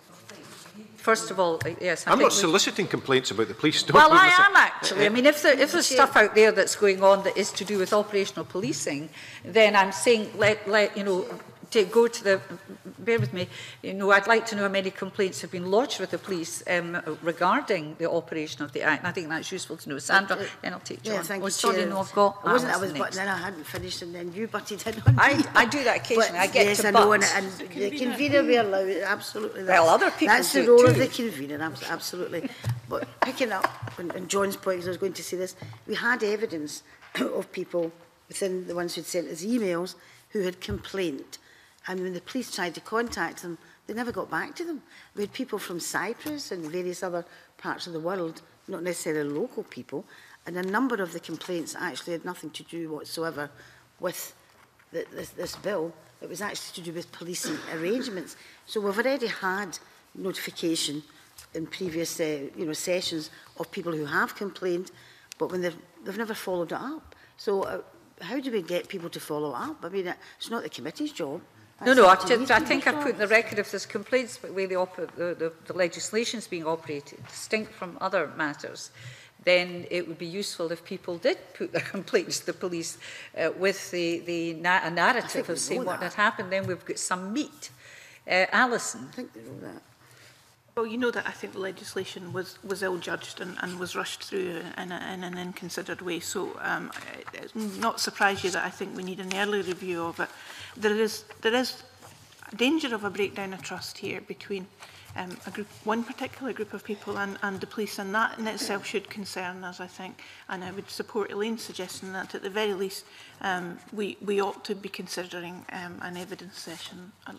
to take this a bit further. Who, who do we ask? John, just bear with sorry, me a minute, John. No, I think since we last discussed this two weeks ago there, I think the, the goalposts have certainly changed for a couple of the members round about the table. And uh, but I think probably, you know, to take it forward, I, I, I agree with the Alison. I think there is a breakdown of trust here. And uh, I think probably the best way to to recover from that is we should have, you know, even pushed for the early review or indeed, you know, I uh, would probably, as a last resort, be probably supporting uh, Elaine's that we should maybe have an early evidence session here. Uh, And whilst we said that, that the, uh, you know, we would like to be consensus, I don't think somewhere down the line we're going to have to take a vote here or we're going to be discussing this, you know,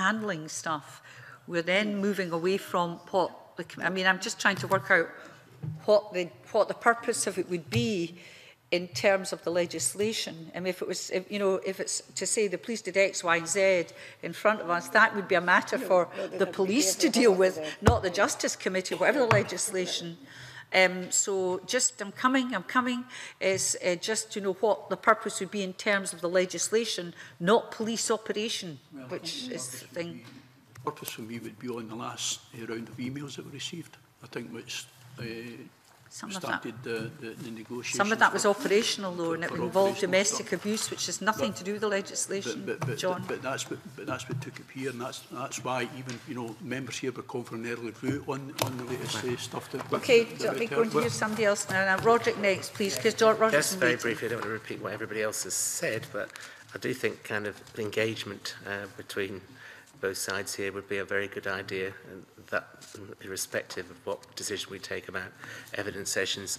And also, I think there seems to be references to things which certainly should give rise uh, to the possibility of a complaint to the police about the way uh, they, the individuals have been handled. And there's no real indication here that anyone's actually used the complaint procedure.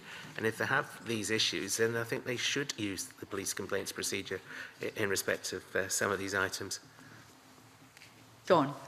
This is one uh, of all the items that we've dealt with at this committee. This is one area where um, I, I think we're damned regardless of what we do. I certainly feel that anyway. I act in good faith in everything I did. So John will recall, if John feels I'm someone who's changed my position, what, what, what, what was said is that there was going to, you know, I'm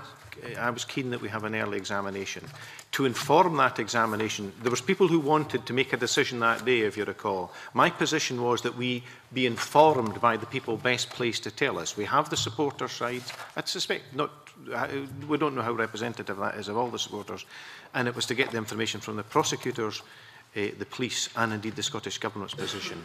I thought at the beginning, talking about the awareness, the disproportional impact, the cameras, and the specific incident and how that was responded to, that I said that from the information that had come back to us, I felt these issues had been addressed. However, in any case, there is ongoing monitoring. So I've not diluted my position, but I'm not going to ask for information, get it, and then ignore the content. I'm just sitting thinking, would it be, um, I'm trying to find, as somebody says, the middle way, appropriate to hear from the Minister of Community Safety before we get other people in in relation to... I, I hear you going like that. I'm trying to find a way for the committee to come to an agreement about something or um, to see my concern is that is to keep the operational separate from the act and that's that would be difficult yeah. to do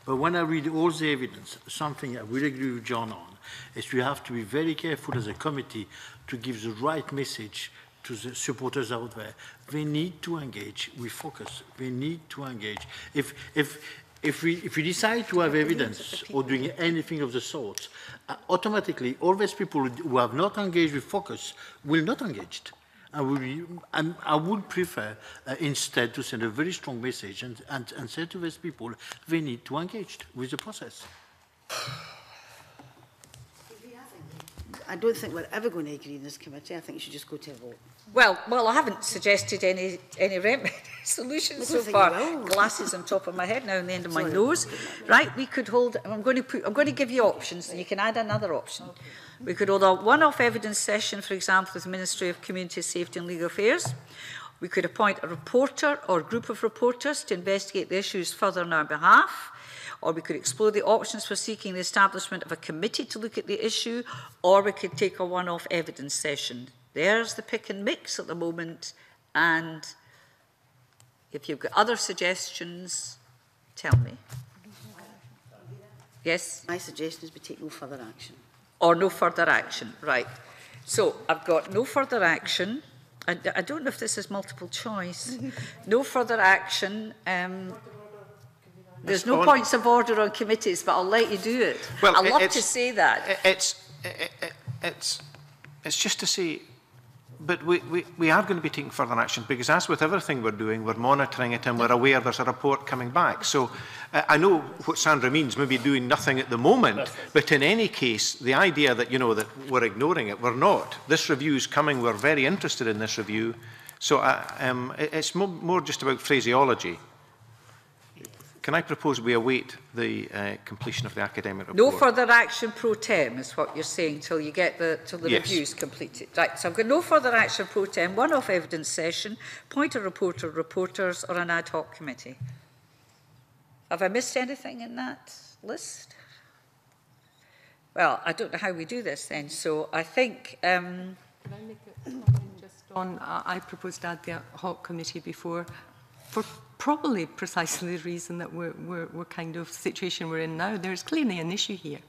I think an early review is desirable.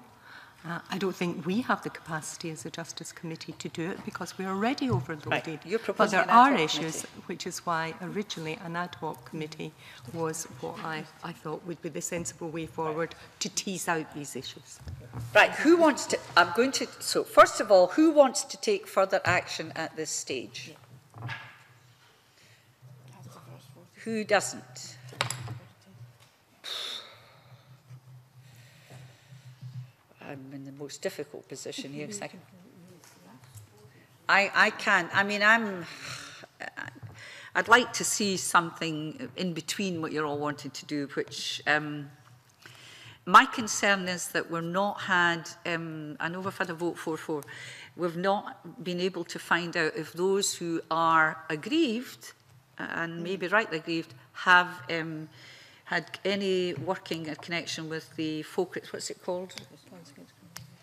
What's it? Focus. That's what I would like to know first, because that was something that, you know, we're saying that not all have engaged. And if they have and it's not been successful, I think that's important. if they've really tried that and it's been a way...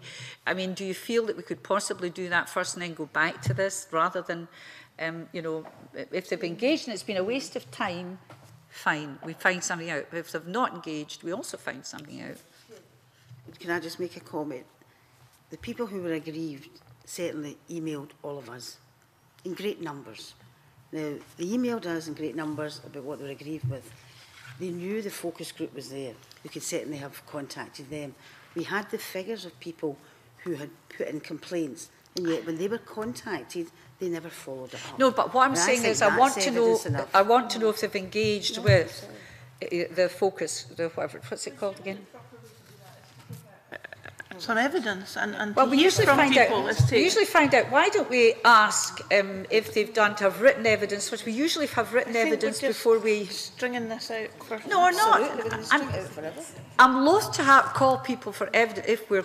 going to say, did you engage with Focus? And they say no. And that's the first answer to the first question. Yeah, but there's so many more other questions than that, surely. Well... I have to say, I would like to have a one-off evidence session for the Minister for Community. I'm prepared. I would, I would like a further explanation. I'm not content to go, I'll be honest, I don't want to go straight to review or evidence or something